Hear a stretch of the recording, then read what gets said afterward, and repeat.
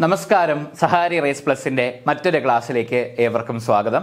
നമ്മൾ I C D എസിന്റെ confirmation വന്നതായിട്ട് അറിയുന്നു. കൂടാതെ തന്നെ സിലബസിൽ പ്രത്യേകമായ മാറ്റങ്ങളും കാണുന്നു. അപ്പോൾ അതിൽ പ്രധാനമായിട്ടും കുട്ടികളുടെ സംബന്ധിച്ച് അല്ലെ ഇഷ്യൂസ് ഓഫ് ചൈൽഡിനെ സംബന്ധിച്ച് ഒരു പുതിയൊരു കോൺസെപ്റ്റ് നമുക്ക് കാണാൻ സാധിക്കുന്ന. ജുവനയൽ ഡെലിക്വൻസി എന്നൊരു കാര്യം കൂടി ആഡ് ചെയ്തിട്ടുണ്ട്. അപ്പോൾ തീർച്ചയായിട്ടും ആ സിലബസ് അനുസരിച്ച് തന്നെ മുന്നോട്ട് പോയാൽ മാത്രമേ നമുക്ക് വേണ്ട മാർക്ക് സ്കോർ ചെയ്യാൻ സാധിക്കുകയുള്ളൂ. അപ്പോൾ ഈ പറയുന്ന കോൺസെപ്റ്റ് ജുവനൈൽ ഡെലിക്വൻസി എന്ത്? എന്താണ്? എങ്ങനെയാണ്? ഏതൊക്കെ തരത്തിലുണ്ട്? എന്തുകൊണ്ട് സംഭവിക്കുന്നു? എങ്ങനെ പ്രതിരോധിക്കാം? ഈ കാര്യങ്ങളാണ് നമ്മൾ ഈ ക്ലാസ്സിൽ പഠിക്കുവാൻ പോകുന്നത്. അപ്പോൾ ഒട്ടും വൈകാതെ തന്നെ നമുക്ക് ക്ലാസ്സിലേക്ക് കടക്കാം. നോക്കാം എന്താണ് ജുവനൈൽ എന്ന് പറയുന്നത്. ഈ United നേഷന്റെ standard minimum rules for the administration of juvenile justice juvenile ബാലനീതി എന്നാണ് ജുവനേൽ ജസ്റ്റിസിനെ പറ്റി പറയുന്നത്. അപ്പോൾ ബാലനീതിക്ക് ഒരു മിനിമം സ്റ്റാൻഡേർഡ് റൂൾസ് ഉണ്ട്. അത് ഫോളോ എല്ലാ രാജ്യങ്ങളും ഈ യു എന്റെ ഭാഗമായിട്ടുള്ള എല്ലാ രാജ്യങ്ങളും ഫോളോ ചെയ്യേണ്ട ഒരു മിനിമം സ്റ്റാൻഡേർഡ്സ് ഉണ്ട്. അതിൽ റൂൾ നാല് പ്രകാരം പറയുകയാണ്. എന്താണ്? That the age of the criminal responsibility for juvenile the beginning of that age, shall not be fixed at too low an age level, bearing in mind the facts of emotional, mental and intellectual maturity. ഒരു criminal juvenile എന്ന് വിളിക്കണമെങ്കിൽ അങ്ങനെ വിളിക്കാറില്ല നമ്മുടെ നിയമപ്രകാരം juvenile at conflict with law child in conflict with law എന്നാണ് പറയുന്നത് പുതിയ നിയമപ്രകാരം അപ്പോൾ ഒരു ക്രിമിനൽ അല്ല കുറ്റകൃത്യ നിയമവുമായി പൊരുത്തപ്പെടാത്ത കുട്ടി അല്ലെങ്കിൽ ക്രിമിനൽ കുറ്റകൃത്യങ്ങൾ ചെയ്ത കുട്ടിയുടെ ഏജ് ഡിറ്റർമിൻ ചെയ്യുമ്പോൾ അത് വളരെ താഴെയുള്ള ഏജ് ആകാൻ പാടില്ല എന്ന് പറയും. നമ്മുടെ ഇന്ത്യൻ ശിക്ഷാ നിയമത്തിലൊക്കെ അല്ലെ പുതിയ ഭാരതീയ ന്യായ സംഹിതയിലൊക്കെ പൂജ്യം മുതൽ ഏഴ് വയസ്സ് വരെ ഉള്ള കുട്ടികൾ ചെയ്യുന്ന കുറ്റകൃത്യങ്ങളെ കുറ്റകൃത്യങ്ങളായി കണക്കാക്കാൻ സാധിക്കില്ല എന്ന് ഇൻഫൻസി എന്ന് പറയുന്നത്. വേറെ എക്സെപ്ഷൻസ് ഉണ്ട്. കുട്ടി എന്ന് വെച്ചാൽ ഏഴ് വയസ്സ് വരെയുള്ള കുട്ടികളെ കൊണ്ട് നമ്മൾ എന്ത് കുറ്റം ചെയ്താലും നമ്മൾ പിടിക്കപ്പെടുക തന്നെ ചെയ്യും. അത് വേറെ കാര്യം. അപ്പൊ സാധാരണ കുട്ടിക്ക് അത് മനസ്സിലാക്കാനുള്ള ഒരു കഴിവില്ല. ഡോളി ഇൻകപ്പാക്സ് എന്നാണ് പറയുന്നത്. Incapable of understanding the consequences of what he or she is being doing അപ്പോൾ അങ്ങനെ ഒരു തലത്തിൽ എന്താണ് ആ കുട്ടികളെ ക്രിമിനൽ എന്ന രീതിയിലേക്ക് കണക്കാക്കാൻ ഒരിക്കലും സാധിക്കുകയില്ല എന്നാണ് പറയുന്നത്. പിന്നെ വരുന്നത് U N C R C നമ്മൾ പഠിച്ചിട്ടുണ്ട്. United Nations conventions on rights of child എന്ന് പറഞ്ഞിട്ട്. എന്താണ്? എല്ലാ മനുഷ്യരും പതിനെട്ട് വയസ്സിന് താഴെയുള്ള എല്ലാ മനുഷ്യരും എന്താണ് കുട്ടിയായിട്ടാണ് കണക്കാക്കപ്പെടുന്നത്. മുമ്പ് പല പല നിയമങ്ങൾ അനുസരിച്ച് പല പല പ്രായങ്ങളുണ്ട്. പക്ഷേ ജനറലി നിങ്ങളുടെ അടുത്ത് ചോദിക്കുകയാണ് കുട്ടി എന്ന് പറഞ്ഞാൽ എന്താണ്? കുട്ടി എന്ന് പറഞ്ഞാൽ പതിനെട്ട് വയസ്സിന് താഴെയുള്ളത് ആരോ? അവരെല്ലാം കുട്ടികളെന്നാണ് പറയുന്നത്. മനസ്സിലായില്ലേ? Rights of child defines style as every human being below the age of eighteen years unless under the law applicable to the child the majority is attained earlier മനസ്സിലായില്ലേ? അപ്പൊ juvenile justice care and protection act ഒരു ഒരു പരിധിയിൽ മുമ്പ് nineteen eighty സിക്സിലാണ് നമുക്കൊരു juvenile justice care and protection act വരുന്നത്. അതിന് മുമ്പ് കുട്ടികൾക്ക് ചിൽഡ്രൻസ് ആക്ട് അങ്ങനെ പറഞ്ഞ പല പല നിയമങ്ങളാണ് കിടന്നത്. നമ്മൾ അതിന്റെ ഡീറ്റെയിൽസ് നമ്മൾ ആ സമയത്ത് അപ്പറന്റിസസ് ആക്ട് ഒക്കെ നമ്മൾ നോക്കും. തൊള്ളായിരത്തി എൺപത്തി ആറിലെ ജെ ജെ ആക്ട് പ്രകാരം നോക്കുകയാണെങ്കിൽ ജുവനൈൽ ജസ്റ്റിസ് ഞാൻ ജെ ജെ എന്ന് പറയും.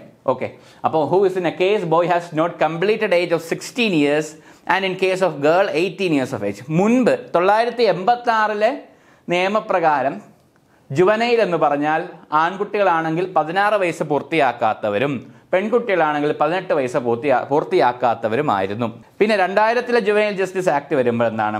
Juvenile or child as a person who has not completed eighteen year of age പതിനെട്ട് വയസ്സ് പൂർത്തിയാകാത്ത ആൺകുട്ടിയോ പെൺകുട്ടിയോ ആരായാലും അവരെ ജുവനൈൽ എന്ന് പറയും. ഇതിന്റെ കാരണം ഈ യു എൻ സി ആർ സിയിൽ അംഗമായതുകൊണ്ടാണ് അല്ലെ United Nations convention on rights of ചൈൽഡിൽ ഒപ്പുവെച്ചതുകൊണ്ടാണ് ഈ ഒരു മാറ്റം രണ്ടായിരത്തിലേക്ക് എൺപത്തി ആറിൽ നിന്ന് രണ്ടായിരത്തിലേക്ക് ആക്ട് വന്നപ്പോൾ ഈ ഒരു മാറ്റം കാണാൻ സാധിച്ചത്.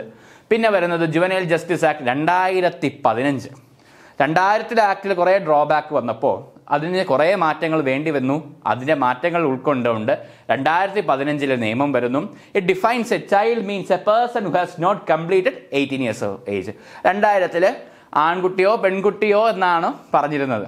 ഇപ്പോൾ ട്രാൻസ്ജെൻഡേഴ്സ് ഉണ്ട് അല്ലേ? അപ്പം അങ്ങനെ വരുമ്പോൾ അവരും അവരിലും ഒരു എന്താണ് ചൈൽഡ് എന്നൊരു കോൺസെപ്റ്റ് ഉണ്ട്. അപ്പോൾ എന്താ ഒരു മാറ്റം വരുത്തി നോക്കൂ. Child means a person a person who has not completed eighteen years of age delinquency delinquency എന്ന് പറയുന്നത് എന്താണെന്ന് നോക്കണം. ജുവനയിൽ എന്താണ് നമ്മൾ കണ്ടു അല്ലേ? ഇനി ഡെലിക്വൻസി എന്ന് പറഞ്ഞാൽ എന്താണ്? Unwelcomed action of a child which is socially not permitted in the society എന്താണ്? Unwelcomed actions of the child എന്ന് പറയുന്നത്. ഇല്ലേ? ചെറിയ വായിൽ വലിയ വർത്തമാനം പറയുന്നത് തൊട്ട് അല്ലേ നമുക്ക് unwelcoming action on the basis of morality കുട്ടികളിങ്ങനെ വലിയ വായിൽ സംസാരിക്കാനൊന്നും പാടില്ല എന്ന് പറഞ്ഞു തുടങ്ങി. വലിയ വലിയ കുറ്റകൃത്യങ്ങളിലൊക്കെ കുട്ടി എത്തപ്പെടുകയാണെങ്കിൽ ആ കുറ്റകൃത്യങ്ങൾ ചെയ്യുന്ന കുട്ടിയെ പറയുന്നതാണ് ജുവനൈൽ ഡെലിക്വൻ ഡെലിക്വൻസി എന്ന് പറയുമ്പോൾ അൺവെൽക്കംഡ് ആക്ഷൻസ് ഒരിക്കലും ചെയ്യാൻ പാട് കുട്ടി ഒരു കുട്ടിയിൽ നിന്നും നമുക്ക് ഒരിക്കലും പ്രതീക്ഷിക്കാൻ പറ്റാത്ത ഒരു കാര്യത്തെയാണ് ഡെലിക്വൻസി അല്ലെങ്കിൽ അങ്ങനെ ഒരു ആക്ഷനെയാണ് ഡെലിക്വൻസി എന്ന് പറയുന്നത്. അങ്ങനെ ചെയ്യുന്നവരെ ജുവനയിൽ കുട്ടികളെ ചെയ്യുകയാണെങ്കിൽ ഡെലിക്വന്റ് എന്ന് പറയും. അതിന്റെ ഒരു ഡിസോർഡർ ആയിട്ടാണ് കണക്കാക്കുന്നത്. Is a disorder, social disorder something, which is defined as a child acting like an adult. ചുരുക്കത്തിൽ പറഞ്ഞാൽ മുതിർന്നവരെ പോലെ കുട്ടികൾ പെരുമാറുക. മുതിർന്നവരെ പോലെ നല്ല കാര്യങ്ങൾ ചെയ്യുന്നത് അല്ല ഉദ്ദേശിക്കുന്നത് മുതിർന്നവരെ പോലെ പെരുമാറുക. The action of the child may seem to be very foolish but actually it is a matter of serious concern മുതിർന്നവരെ പോലെ പല പല കാര്യം ചെയ്യുന്നു. ഇവന് നല്ല പക്വതയാണല്ലോ. ഇല്ലേ? നമ്മൾ പറയില്ലേ? ഇവൻ വളർന്നു. എന്താണ്? പല പല കാര്യങ്ങൾ ചെയ്യുന്നു. അവരെ നമ്മൾ പ്രോത്സാഹിപ്പിക്കുന്നു. സാധാരണ ഒരു കുട്ടിയിൽ നിന്നും നമുക്കത് പ്രതീക്ഷിക്കാൻ സാധിക്കുകയില്ല. എന്താണ് കുട്ടിയിൽ നിന്ന് പ്രതീക്ഷിക്കാൻ നമുക്ക് കുട്ടികളുടെ മേൽ അധിക പ്രതീക്ഷ? എന്താണ്? വരുത്തരുതെന്നൊക്കെ നമ്മൾ പറയാറുണ്ട്. പക്ഷേ ചില സാഹചര്യങ്ങളിൽ ഇല്ലേ? കുട്ടികൾക്ക് അവരുടെ അവകാശമായ കുട്ടിത്തം നഷ്ടപ്പെടുകയാണ് ചൈൽഡ്ഹുഡ് നഷ്ടപ്പെടുകയാണ് അല്ലേ? ആ ചൈൽഡ്ഹുഡ് നഷ്ടപ്പെടുന്നത് ഏറ്റവും വലിയ വയൽ റൈറ്റ്സ് വയലേഷനാണ് യു എൻ കൺവെൻഷനിൽ നമ്മൾ പഠിച്ചതുപോലെ അവരുടെ പ്രധാനപ്പെട്ട റൈറ്റ് ടു സർവൈവൽ എന്താണ് right to development right to participation right to protection എന്നീ പറയുന്ന നാല് അവകാശങ്ങളെ എല്ലാം ഹനിക്കുന്നതാണ് അവർക്ക് അവരുടെ ബാല്യകാലം അവർക്ക് ആസ്വദിക്കാൻ പറ്റാതെ പോയാൽ. ആ ബാല്യകാലത്തിൽ തന്നെ ഓരോ ഇൻഫ്ലുവൻസസ് കൊണ്ട് ഒരു എന്താണ് അഡൽട്ട് എന്ന രീതിയിൽ പെരുമാറുകയും അത് കുട്ടികൾ അങ്ങനെ കാ ചെയ്യുന്നത് കാണുമ്പോൾ തന്നെ എന്ത് മണ്ടത്തരാണ് എന്താണ് ഈ കുട്ടികൾ കാണിച്ചു കൂട്ടുന്നത് നമ്മളല്ലേ നമ്മൾ മിക്കയിടത്ത് നമ്മൾ പറയാറില്ലേ. പക്ഷേ it is a matter of serious concern അത് അവരെ ബോധ്യപ്പെടുത്തിയില്ല എങ്കിൽ അത് വലിയ പ്രശ്നങ്ങളിലേക്ക് പോകും. It is believe that the delinquency is considered only when the behaviour of the child is harmful അപ്പോൾ ഇങ്ങനെ ഇങ്ങനെ പല പല ചിന്താധാരകളും ഒക്കെ ബിഹേവിയറിസം ഒക്കെ ഉണ്ടെങ്കിൽ കൂടിയും അത് സമൂഹത്തിന് ദോഷകരമായ രീതിയിലുള്ള ഒരു പ്രവർത്തനമാണ് കാണുന്നത് എങ്കിലാണ് നമുക്കിതിനെ ഹാംഫുൾ ബിഹേവിയർ ഡെലിക്വൻസി എന്ന് വിളിക്കാൻ സാധിക്കുക എന്നാണ് പറയുന്നത്. ഓക്കെ ഫെഡറിക് ബി സൂസ്മാന്റെ ലോ ഓഫ് ജുവനൈൽ ഡെലിക്വൻസി എന്ന് പറഞ്ഞിട്ട് എന്തൊക്കെയാണ് ജുവനൈൽ ഡെലിക്വൻസിയിൽ വരുന്നത് എന്ന് ഒരു ലിസ്റ്റ് തന്നെ പറയുന്നു. നോക്കൂ. Presented a list of acts and conditions included in delinquency definition as infringement എന്നാണ്. ഇൻഫ്രിഞ്ച്മെന്റ് ആണ്. ഇൻഫ്രിഞ്ച്മെന്റ് ലംഘനം എന്നർത്ഥം. Act as infringement of any law or ordinance നിയമലംഘനമോ അല്ലെങ്കിൽ ഒരു റൂളിന്റെ ലംഘനമോ സംബന്ധിച്ച് habitual absence alliance with thieves brutal or immoral persons and beastly beyond authority of parent or guardian എന്താണ്? രക്ഷകർത്താക്കളിലോ മാതാപിതാക്കളുടെയോ എന്താണ് അധീനത എന്ന് നമുക്ക് ഒരിക്കലും പറയാൻ പറ്റില്ല അതോറിറ്റി എന്ന് പറയുമ്പോൾ അവരുടെ അല്ലേ? അവരുടെ സംരക്ഷണത്തിൽ നിന്നും അവരുടെ സംരക്ഷണത്തിന് അതീതമായി ഏതെങ്കിലും നിയമലംഘനം. ആ നിയമലംഘനം എന്താണ്? ഇപ്പോൾ സ്കൂളിൽ ഹാബിച്വൽ ആയിട്ട് ഹാബിച്വൽ ആബ്സെൻസ് അല്ലേ? സ്കൂൾ അപ്പോൾ അധികം ഒന്നും ഇപ്പം സ്കൂളിൽ വരാതിരിക്കുക എവിടെ എവിടെ പോകുന്നു എന്ന് ഒരിക്കലും തിരിച്ചറിയാത്ത വിധം. സ്കൂൾ മാത്രമല്ല പെട്ടെന്ന് പെട്ടെന്ന് ഓരോ സമയത്ത് കാണാതാകുക പിന്നെ തിരിച്ചു വരിക കാണാതാകുക തിരിച്ചു വരിക. ആ ഒരു കാര്യം കൊള്ളക്കാരോട്ടും അല്ലെ കള്ളന്മാരോട് കൂടെ കൂട്ടുകൂടുക. ബ്രൂട്ടൽ ഓർ ഇമ്മോറൽ പേഴ്സൺ ഈ തീവ്സ് എന്ന് പറയുന്നത് ഭാരതീയ ന്യായ സംഹിത പ്രകാരം എന്താണ്? ഒരു പ്രോപ്പർട്ടി സ്റ്റോൾ ചെയ്യുന്നവരെ ആ തീവ്സ് എന്ന് പറയുന്നത് നമ്മൾ സാധാരണ കൊളോക്കിയലി ഉപയോഗിക്കുന്ന കള്ളന്മാർ എന്നൊരു അർത്ഥമല്ല. With with a criminal intent അങ്ങനെയുള്ള ആൾക്കാരുമായിട്ടുള്ള അങ്ങനെയുള്ള കൊള്ളക്കാരെന്ന് നമ്മൾ പറയും. അവരുമായിട്ടുള്ള കൂട്ടുകൂടൽ. ബ്രൂട്ടൽ ഓർ ഇമ്മോറൽ പേഴ്സൺ അത്രയും ഫേമസ് ആയ ആൾക്കാരോട് കൂട്ടുകൂടുക. ഫേമസ് അത്രയും ഇൻഫേമസ് ആയ ആൾക്കാരോട് കൂട്ടുകൂടുക. ബ്രൂട്ടൽ ആൻഡ് ഇമ്മോറൽ പേഴ്സൺസ് ഇതിലെ കുട്ടികളെയൊക്കെ പെട്ടെന്ന് സ്വാധീനിക്കാൻ കഴിയുന്ന കുറച്ച് വിഭാഗങ്ങളാണ് അല്ലേ? നമുക്ക് ഇൻസ്റ്റാഗ്രാം ഒക്കെ നോക്കുകയാണെങ്കിൽ നമുക്ക് ഇൻഫ്ലുവൻസേഴ്സിനെ കാണാം അല്ലേ? നല്ല രീതിയിൽ ഇൻഫ്ലുവൻസ് ചെയ്യുന്നുണ്ട് മോശമായ രീതിയിൽ ഇൻഫ്ലുവൻസ് ചെയ്യുന്നവരുണ്ട് രണ്ടും കെട്ട രീതിയിൽ ഇൻഫ്ലുവൻസ് ചെയ്യുന്നവരുണ്ട്. കുട്ടികൾക്ക് എന്ത് ചെയ്താലാണോ തന്നെ ആൾക്കാർ ശ്രദ്ധിക്കുക എന്നൊരു ചിന്ത എപ്പോഴും കുട്ടികളുടെ മനസ്സിലുണ്ട് അല്ലേ? ഇത് എന്നെ ആൾക്കാർ കുറേ അംഗീകരിക്കും എനിക്ക് വേണ്ട പ്രോത്സാഹനം ലഭിക്കും എന്നൊക്കെ പറഞ്ഞ് പറഞ്ഞ് പറഞ്ഞ് പല പല കാര്യങ്ങൾ അല്ലേ? കുട്ടികൾ എന്തും കാണിച്ചു കൂട്ടുന്ന ഒരു രീതിയുണ്ട് അല്ലേ? ഇപ്പം സിംഗിൾസ് എന്ന് പറഞ്ഞാൽ ട്വന്റി ജെൻസി എന്ന് പറയും. രണ്ടായിരത്തിന് ശേഷം ജനിച്ച കുട്ടികൾ നയന്റീൻ നയന്റി ഫൈവ് എന്ന് പറഞ്ഞാൽ നയന്റീസ് കിഡ്സ് അല്ലേ? എന്നൊക്കെ പറയും. ഇപ്പം നമ്മൾ ചില ട്രോളൊക്കെ കാണും. ഇപ്പം എന്താണ്? പ്രായപൂർത്തിയായിട്ടില്ല. കുടുംബത്തിനെ പറ്റിയൊക്കെ അല്ലേ? നമ്മൾ ചിന്തിക്കുന്ന കുട്ടികൾ വരെ നമ്മുടെ കൂട്ടത്തിലുണ്ട്. അത് വലിയൊരു സോഷ്യൽ കൺസേൺ ആണ്. സോഷ്യോളജിക്കൽ ആസ്പെക്റ്റിൽ ഒരു സോഷ്യൽ കൺസേൺ ആണ് അല്ലേ? പക്ഷെ അവരെ സപ്പോർട്ട് ചെയ്യുന്ന കുറേ പാട്ടുകളെ കല്ലുമാല കാതൽ കമ്മലില്ലേലും അല്ലേ? എള്ളോളം തനി പൊന്നെന്തിന തനി തജ്ജാവൂര് പട്ടന്തിന അല്ലേ? ജുവനൈൽ ജസ്റ്റിസ് ബോർഡ് ഒബ്സർവേഷൻ ഹോമൊക്കെ ഉണ്ടല്ലോ. നമുക്ക് അവിടെ പോയി നിൽക്കാമെന്നൊക്കെയാണ് പാട്ട് പറയുന്നത്. പക്ഷേ അങ്ങനെയൊന്നും ഇതൊക്കെ കണ്ട ഒരു ഇൻഫ്ലുവൻസിലൊക്കെ വന്ന് വീഴുന്നതിന്റെ പരിണിത ഫലം അനുഭവിക്കുന്ന കുട്ടികളുടെ ഭാവി തന്നെയാണ് ഇല്ലാതാകുന്നതാണ്. അപ്പോൾ എന്താണ്? With brutal and immoral persons and beastly ഏറ്റവും അതിക്രൂരമായ രീതിയിൽ നമുക്ക് കാണാം. ഈ ഇടയായിട്ട് ഒരു സ്ഥലത്ത് കുതിരയെ കെട്ടിയിട്ട് അടിച്ച കുറച്ച് യുവാക്കളുണ്ട് അല്ലേ? അതിൽ അവർക്ക് ഒരു ലഹരിയുമായിട്ടൊക്കെ ഒരു ബന്ധമുള്ളതായിട്ടാണ് റിപ്പോർട്ടുകൾ വരുന്നത്. കുട്ടികളും അതിന്റെ ഭാഗമായിട്ട് തന്നെയുണ്ട്. എവിടെയാണ് അവർ ഭാഗമായിട്ടില്ലാത്തതെന്നാണ് ഇപ്പോഴത്തെ നമ്മുടെ ഏറ്റവും വലിയ ഇഷ്യൂ എന്നാണ് പറയുന്നത്. അപ്പം കുട്ടി എന്താണ്? ഡെലിക്വൻസി ഇത്രയേ ഉള്ളൂ. ഇത് പറയാനാണ് ഇത്രയും കാര്യങ്ങൾ നിങ്ങൾക്ക് മനസ്സിലാകാൻ വേണ്ടിയിട്ടാണ് പറഞ്ഞത്. നിയമലംഘനമായി അല്ലെങ്കിൽ റൂളിന് അഗൻസ്റ്റ് ആയിട്ട് ഒരു ഹാബിച്വൽ ആബ്സെൻസോ ഒരു ഇതുമായിട്ടുള്ള കൂട്ടുകൂടലോ ഇമ്മോറൽ പേഴ്സൺ ബീസ്ലി ആയിട്ട് ആക്ട് ചെയ്യോ രക്ഷകർത്താക്കളുടെ സംരക്ഷണത്തിൽ നിന്ന് അതീതമായി നിന്ന് അവരുടെ അധീനതയിൽ നിന്നും ഈ പറയുന്ന കാര്യങ്ങളിൽ ഏർപ്പെടുകയും കൂടി ചെയ്യുകയാണെങ്കിൽ അവരെ ജുവനൈൽ ഡെലിക്വന്റ് എന്ന് വിളിക്കും. Frederick B Sussman law of juvenile ഡെലിക്വൻസിയിൽ പറയുന്നു. പിന്നെ വരുന്ന ജുവനൈൽ ഡെലിക്വൻസിയുടെ പ്രധാനപ്പെട്ട കാര്യങ്ങൾ നമുക്ക് നോക്കണം. എന്തുകൊണ്ട് ജുവനൈൽ ഡെലിക്വൻസി സംഭവിക്കുന്നു? ബയോളജിക്കൽ കോസസ് ഉണ്ടാവും. സൊസൈറ്റൽ എൻവയോൺമെന്റൽ കോസസ് ഉണ്ടാവും. കോസസ് ഓഫ് ജുവനൈൽ ഡെലിക്വൻസി എന്ന് നമുക്ക് നോക്കാം. ഈ പ്രധാനപ്പെട്ട കാര്യം ശരിക്കും പറഞ്ഞാൽ കുട്ടികളെ ഒരിക്കലും ജയിലിടില്ല. കുട്ടികളെ ഒരിക്കലും ജയിലിടില്ല. ഇത് എന്താണ്? ഒരു അവർക്ക് ഹാൻഡ് കഫിങ്ങും ഇല്ല ജയിലും ഇല്ല അത് മനസ്സിലാക്കുക. അവർക്ക് ഈ പറഞ്ഞ പോലെ പ്രസൻസിന്റെ അടിയിൽ നിന്ന് പക്ഷേ നമുക്കൊരു എന്താണ്? അതിന് സാങ്കല്പിക ചിത്രം എന്ന രീതിയിൽ മാത്രമാണ് നമ്മളിത് പ്രയോഗിച്ചിരിക്കുന്നത്. ഓക്കെ. അപ്പോൾ അല്ല ജുവനൈൽ ഡെലിക്വൻസിയുടെ ഭാഗമായിട്ട് നോക്കാം. എന്തൊക്കെയാണ് കോസസ് ബയോളജിക്കൽ കോസസ് എന്ന് പറയും. എന്താണ്? ജനിതകമായ അല്ലെ ജീവശാസ്ത്രപരമായ കാര്യങ്ങൾ എന്തൊക്കെയാണെന്ന് നോക്കാം. ബയോളജിക്കൽ ഫാക്ടർ എന്ന് ഫിസിയോളജിക്കൽ ആൻഡ് മെന്റൽ ഇഷ്യൂസ് വഴി സംഭവിക്കാം. Low intelligence lack of understanding etcetera also lead to delinquent behaviour among children അതിൽ it has been observe that girls usually attain puberty at a very young age and can easily become prey to sexual offences sexual ഒഫൻസസിന് പ്രായമില്ല എന്നാണ് നമുക്ക് മനസ്സിലാക്കാൻ സാധിക്കുന്നത്. Puberty attain ചെയ്യുമ്പോഴേ അങ്ങനെ സംഭവിക്കുകയൊന്നുമില്ല ജനിച്ച് ആറുമാസമാകുന്നതിന് മുമ്പ് തന്നെ കുട്ടിക്ക് ഈ പറയുന്ന പ്രശ്നങ്ങൾ അല്ലെ ഈ ലൈംഗിക അതിക്രമമൊക്കെ അവർ ഫേസ് ചെയ്യാറുണ്ട്. അപ്പോൾ ബയോളജിക്കൽ ഫാക്ടറുകൾ ഫിസിയോളജിക്കൽ ആൻഡ് മെന്റൽ ഇഷ്യൂസ് ആണ്. ഫിസിയോളജിക്കൽ എന്ന് പറയുമ്പോൾ അവർക്ക് ചില പഠനങ്ങൾ അത് എത്രത്തോളം ശരിയാണെന്ന് എനിക്ക് നമുക്ക് പറയാൻ കഴിയില്ല. കാരണം അങ്ങനെയുള്ള കുട്ടികളെ നമ്മൾ ഇനി അങ്ങനത്തെ കണ്ണുകൾ കൊണ്ട് കാണണ്ട. അതുകൊണ്ട് അത് പൊതു ഇടത്ത് നമുക്ക് ഒരിക്കലും അത് പറയാൻ സാധിക്കില്ല. ഈ എന്തെങ്കിലും ഡിസേബിലിറ്റീസ് ഒക്കെ വരുമ്പോൾ അവരുടെ ഈ ബിഹേവിയറിസത്തിൽ തന്നെ പല മാറ്റങ്ങൾ വരാമെന്നാണ് പറയുന്നത്.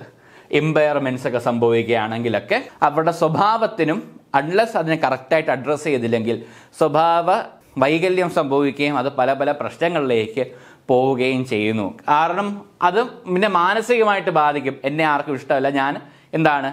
ഞാൻ ഇന്ന് ഇങ്ങനെയായി. എന്നെ ആരും ഇനി കൂട്ടുകൂടത്തില്ല എന്നെ ആൾക്കാർ അംഗീകരിക്കില്ല. ഇനി എന്നെ ആൾക്കാർ ശ്രദ്ധിക്കില്ല. അങ്ങനെ വരുമ്പോൾ നമുക്ക് തന്നെ എത്രത്തോളം സന്തോഷപരമായിട്ടോ എത്രത്തോളം കാരുണ്യത്തോടു കൂടിയോ വർത്തിച്ചവർ അങ്ങനെയുള്ള കുട്ടികൾ അങ്ങനെയുള്ള നല്ല മനസ്സുള്ള കുട്ടികൾ പിന്നെ മാറുമ്പോൾ എന്താണെന്നറിയോ? അവരുടെ ആ ഒരു സമൂഹത്തിന്റെ ഒക്കെ ഒരു ഇടപെടൽ കാരണം ഇവരുടെ സ്വഭാവം അതേപോലെ ഞാൻ എന്ത് എന്നോട് ദയ കാണിക്കാത്തവരടുത്ത് ഞാൻ എന്തിന് ദയ കാണിക്കണം എന്ന തോന്നലുള്ള കുട്ടികളുണ്ടാവാം. അത് അവർ വളർന്നു വരുമ്പോൾ അത് വേറെ പ്രശ്നങ്ങളിലേക്കൊക്കെ പോകാൻ സാധ്യതയുണ്ട്. വളർന്നു വരുമ്പോഴാണ് ഇവരുടെ കൂടുതൽ ഇമ്പാക്റ്റ് നമുക്ക് മനസ്സിലാകുന്നത്. പക്ഷേ ചില കുട്ടികളുണ്ട്. അത് കുട്ടികൾക്ക് അറിഞ്ഞു നമുക്ക് ആ വീഡിയോ കാണുമ്പോൾ തന്നെ വിഷമോ. ഒരു ജമ്മു കാശ്മീരിൽ ഒരു വീട്ടിലൊരു കുട്ടിയുടെ അല്ലേ ഒരു കുക്കർ എന്തോ കുക്കറോ മാവോ എന്തോ എന്തോ പാകം ചെയ്തുകൊണ്ടിരിക്കുകയാണ്. ഗ്യാസിൽ വെച്ചിട്ട് കുട്ടി എന്തോ കൈ എന്തോ ഇട്ടപ്പോൾ കൈ എന്തോ ആ അല്ല ഈ മാവ് അരയ്ക്കുന്നതിലാണ്. മാവ് അരയ്ക്കുന്ന അവിടെ നിന്ന് കൈ എന്തോ ചുമ്മാ കുട്ടിയില്ലേ? ഇട്ടപ്പോൾ കൈ അവിടെ സ്റ്റക്കായി പോയി കൈ എടുക്കാൻ പറ്റാത്ത രീതിയിൽ എന്തോ ഒരു പ്രശ്നം വന്നു. അത് അവസാനം കൈ ആംബ്യൂട്ട് ചെയ്തിട്ടാണ് മാറ്റിയത്. അപ്പോൾ കുട്ടിയെടുത്ത് മീഡിയ ചോദിക്കുകയാണ് എന്താ ഇങ്ങനെ പറ്റി എന്താ സംഭവിക്കുക? പറഞ്ഞു ദൈവം എന്റെ കൈ എടുത്തു. എന്ന രീതിയിലാണ് കുട്ടി കുട്ടിക്ക് എന്തറിയാം കുട്ടി കുട്ടി എന്ത് തെറ്റ് ചെയ്തു ഇല്ലേ ഇങ്ങനെ ചെയ്യാൻ? ഇപ്പോൾ തന്നെ വയനാട് തന്നെ ഇപ്പോൾ മുപ്പതോളം കുട്ടികളാണ് മരിച്ചത്. അവർ അവരൊരു അധ്യാപകൻ പറയുന്നത് തന്നെ നമ്മൾ കേട്ടതാണ് അല്ലേ? ഇത്ര പ്രകൃതി സംരക്ഷണത്തിൽ മുമ്പേ നിൽക്കണമെന്ന് പറഞ്ഞവരെ തന്നെ പ്രകൃതി കൊണ്ടുപോയി എന്നാണ് അവരുടെ ഒരു വിഷമമായിട്ട് പറയുന്നത്. നമുക്ക് അവരോടൊപ്പം കൂടെ നിൽക്കാനേ അവരുടെ വിഷമത്തിൽ പങ്കുചേരാനേ സാധിക്കുകയുള്ളൂ. കഴിയുന്നത്ര രീതിയിൽ ഒരു സഹായം നമുക്ക് വേണമെങ്കിൽ നിങ്ങളുടെ ഭാഗത്തു നിന്നൊക്കെ ഒരു ഇമോഷണൽ സപ്പോർട്ടെങ്കിലും അതാണ് ഐ സി ഡി എസ്സുകാർക്ക് നിങ്ങളുടെ ജോലിയിൽ പ്രവേശിക്കുന്നതെന്നാണ് നിങ്ങളുടെ ഏറ്റവും വലിയ സഹായം നിങ്ങൾ അവർക്ക് വേണ്ടി ചെയ്യാൻ പോകുന്നതെന്നാണ്. ഇനി വളർ വരുന്ന തലമുറയ്ക്ക് ഒരു മാതൃകയായി ഈ ദയയും എന്താണ് കാരുണ്യവും സന്തോഷവും ഒക്കെ ഇപ്പോഴും നിലനിൽക്കുന്ന സമാധാനം ആഗ്രഹിക്കുന്ന ഒരു വിഭാഗവും ഇപ്പോഴും ഉണ്ട് എന്ന് തന്നെ ഒരു വിശ്വാസം അവരിലേക്ക് എപ്പോഴും നിലനിർത്തി കൊടുക്കണം എന്നാണ് പറയുന്നത്. അപ്പോൾ ഇതിൽ ഇറ്റ് ഹാസ് ബീൻ ഒബ്സർവ്ഡ് അതാണ് ഈ ഫിസിയോളജിക്കൽ ആസ്പെക്റ്റ് പറയുന്നത്. മെന്റൽ ഇഷ്യൂസ് അറിയാം. ഇപ്പം കുറേ മെന്റൽ ട്രോമ ഇഷ്യൂസൊക്കെ ഉണ്ടാവും ഇല്ലേ? കുട്ടിക്കാലത്ത് തന്നെ ഉണ്ടായിരുന്ന അവരെ കൂടുതലായിട്ട് അബ്യൂസ് ചെയ്തിട്ടുണ്ടെങ്കിൽ മെന്റൽ അബ്യൂസിലേക്ക് വിധേയമായിട്ടുണ്ടെങ്കിൽ ബുള്ളിങ്ങിനൊക്കെ എന്താണ് വിധേയമായിട്ടുള്ള കുട്ടികളാണെങ്കിൽ അവർക്കൊക്കെ കുറച്ചുകൂടെ വളർന്നു വരുമ്പോൾ ഒരു ജുവനൈൽ ഡെലിക്വൻസിയിലേക്ക് എത്തപ്പെട്ടേക്കാം. എല്ലാവരും എത്തണമെന്നില്ല. ഓക്കെ അപ്പം may to delinquent behaviour among children ഒരു കുറ്റവാ കുറ്റവാളിയുടെ ഒരു വാസന അവരിലേക്ക് വരുമെന്നാണ് പറയുന്നത്. ഒരു അണ്ടർ ലാക്ക് ഓഫ് അണ്ടർസ്റ്റാൻഡിങ് താൻ ചെയ്യുന്ന കാര്യത്തിലെ പ്രത്യാഘാതം എന്താണെന്ന് മനസ്സിലായി. അത് കുട്ടികളുടെ ഒരു ഒരു അത് നമുക്ക് ചെറുപ്പത്തിൽ അനലൈസ് ചെയ്യാൻ പറ്റുന്ന പറഞ്ഞാൽ അവർ മൃഗങ്ങളോട് എങ്ങനെ പെരുമാറുന്നു നോക്കിയാൽ മതി.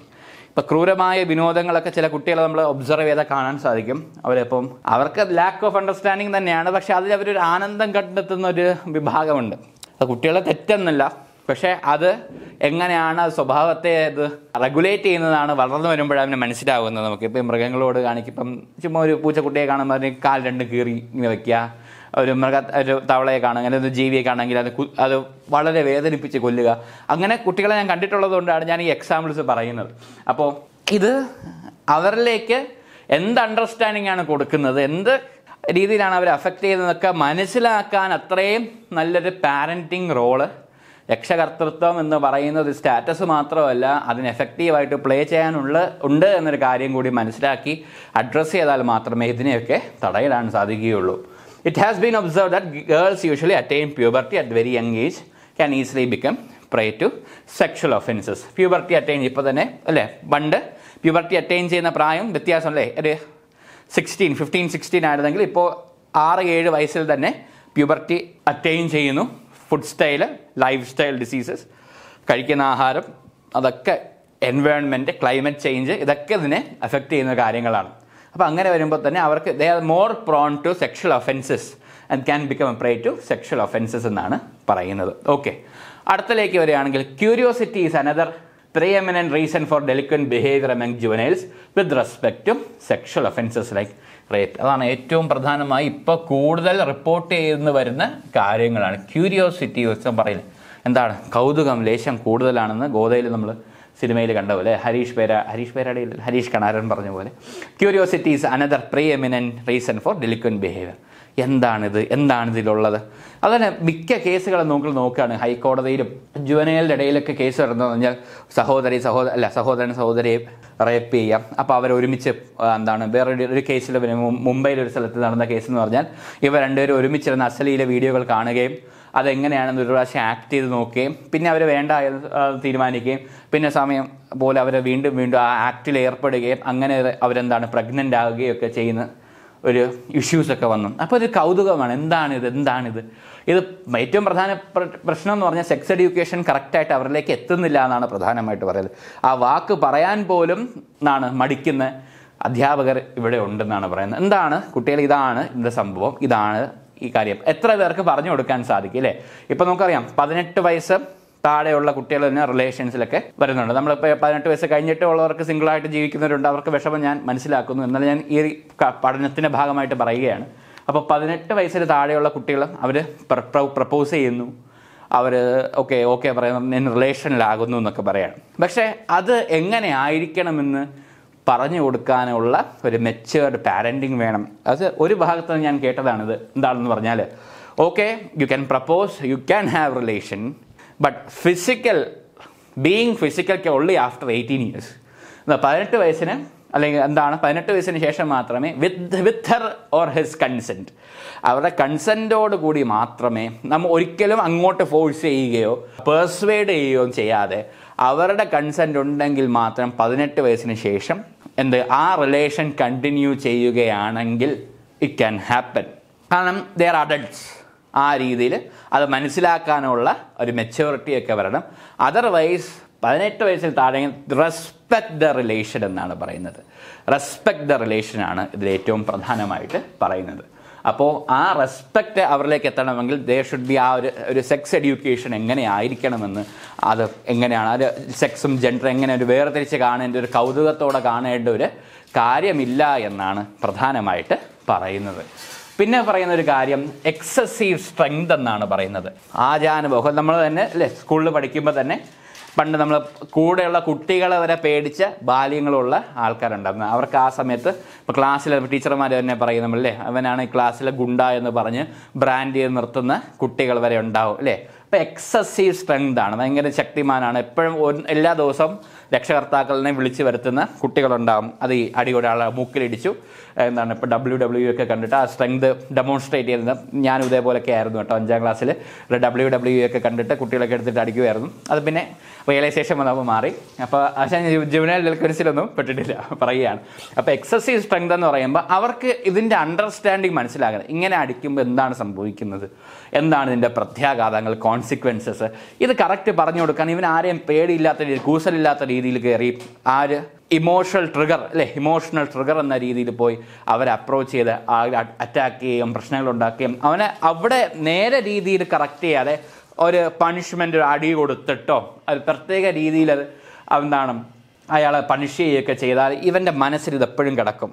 ഇത് ഞാൻ എനിക്ക് പകരം ചെയ്യണം എനിക്ക് പകരം ചെയ്യണം എന്ന രീതിയിൽ ഈ ഒരു കാര്യം കിടക്കും. അത് വളർന്നു വരുമ്പോൾ എന്താണ് കുറച്ചും കൂടി സോഫിസ്റ്റിക്കേറ്റഡ് ആയിട്ട് എന്താണ് ഈ പറയുന്ന സ്ട്രെങ്ത് ഇവർ കാണിക്കുകയും ചിലപ്പോൾ അത് വലിയ കുറ്റകൃത്യങ്ങളിലേക്ക് പോവുകയും ചെയ്യാം. പതിനെട്ട് വയസ്സിന് മുമ്പ് തന്നെയുള്ള ക്രൈമിലേക്ക് ഏർപ്പെടാം. അപ്പോൾ ദർ ഈസ് എല്ലാ പ്രായത്തിനും അതിന്റേതായ ഒരു സൗന്ദര്യമുണ്ടെന്നാണ് പറയുന്നത്. അതനുസരിച്ച് അതിൽ അതിന്റെ അതിലൊരു മെച്ചുവറിറ്റി വരികയാണെങ്കിൽ അത് കാര്യങ്ങൾ മനസ്സിലാക്കി താൻ ചെയ്യുന്ന കാര്യങ്ങൾ എന്താണെന്ന് മനസ്സിലാക്കിക്കൊണ്ട് പ്രവർത്തിക്കാൻ സാധിക്കണം. ഈ ഡെലിക്വന്റ് എന്ന് പറയുമ്പോൾ മാത്രം എന്താണ്? കൊലപാതകം പിടിച്ചുപറി അത് മാത്രമല്ല ഇതേപോലത്തെ മോഷണം മോഷണം ഒരു വാസനയായിട്ട് വരും. അത് തികച്ചും അത് കൺട്രോൾ ചെയ്ത് തിരിച്ചറിഞ്ഞ് അവരെ പറഞ്ഞ് മനസ്സിലാക്കി മുന്നോട്ട് കൊണ്ടുപോവുകയാണെങ്കിൽ തീർച്ചയായിട്ടും അതിൽ മാറ്റങ്ങളുണ്ടാകാം.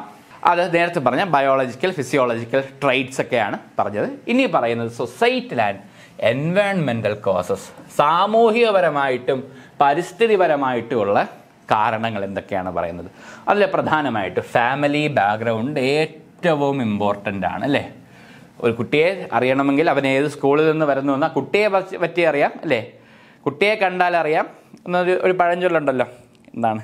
വീട്ടിലെ പഞ്ഞം. അങ്ങനെ എന്തോ അല്ലേ? കുട്ടിയെ കണ്ടാൽ അറിയാം വീട്ടിലെ പഞ്ഞം പഞ്ഞം എന്ന് പറയും. അതേപോലെ തന്നെ കുട്ടി റെപ്രസെന്റ് ചെയ്യുന്നൊരു കുടുംബത്തെയാണ്. കുട്ടി എങ്ങനെ പെരുമാറുന്നു അത് ആ കുട്ടിയെ ഇൻഫ്ലുവൻസ് ചെയ്യുന്ന കുടുംബത്തിന് ഒരു വലിയ പങ്കുണ്ട് എന്നാണ് പറയുന്നത്. അല്ലേ greatest influence on the criminal behaviour of offender or juvenile എന്ന് പറയുമ്പോൾ പല കുടുംബങ്ങളിലും നമുക്ക് കാണാൻ കഴിയും. അബ്യൂസീവ് ആയിട്ടുള്ള പാരൻസ് ഉള്ള കുട്ടികളുണ്ടാവും. ആ സ്വന്തം അമ്മയെ ഇട്ട് അടിക്കുന്ന ആ അമ്മയെ അടിക്കുന്ന സ്വന്തം കൺമുന്നിൽ കാണുന്ന കുട്ടികളുണ്ടാവാം. അല്ലെങ്കിൽ കുട്ടി കുട്ടിയുടെ തന്നെ അമ്മയോ അച്ഛനോ കുട്ടിയെ ഏറ്റവും ക്രൂരമായ രീതിയിൽ ഉപദ്രവിക്കുക. കുട്ടിയെ മേൽ കുട്ടിയെ പണിഷ് ചെയ്യാൻ കുട്ടി എന്ത് ചെറിയൊരു കാര്യം ചെയ്യാത്തതിന് ഇപ്പോൾ ഒരു ഒരു- ഒരു കേസ് നടന്നത് എന്താണ്? കൊല്ലത്ത് ഒരു അച്ഛൻ തുണി മടക്കി വെക്കാൻ പറഞ്ഞിട്ട് തുണി മടക്കി മടക്കി വെക്കാത്തത് കൊണ്ട് വലിയ രീതിയിൽ കമ്പിപ്പാര കൊണ്ട് അടിച്ച് തോളല്ല ഉടച്ച് എന്താണ്? ഉടച്ച് ഒരു കുടുംബം ഒരു കുട്ടിയുടെ മേൽ നടന്ന ഒരു വയലൻസ് വരെ ഇപ്പോൾ റിപ്പോർട്ട് ചെയ്ത് വന്നിട്ടുണ്ട്.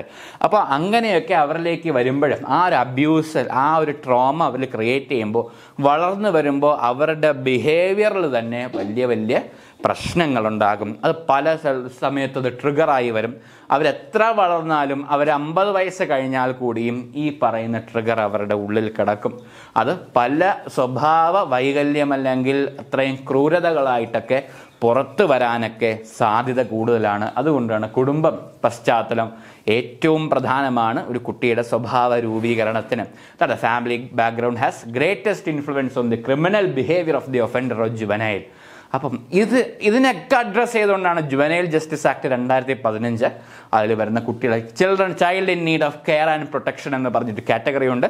അതിൽ ഏതൊക്കെ കുട്ടികളാണ് വരേണ്ടതെന്ന് വരെ പ്രതിപാദിക്കുന്നു. അപ്പോൾ ഈ ഫാമിലി ബാക്ക്ഗ്രൗണ്ട് ഒരു ഇമ്പോർട്ടന്റ് കാര്യമാണ്. അതെന്താ നോക്കും?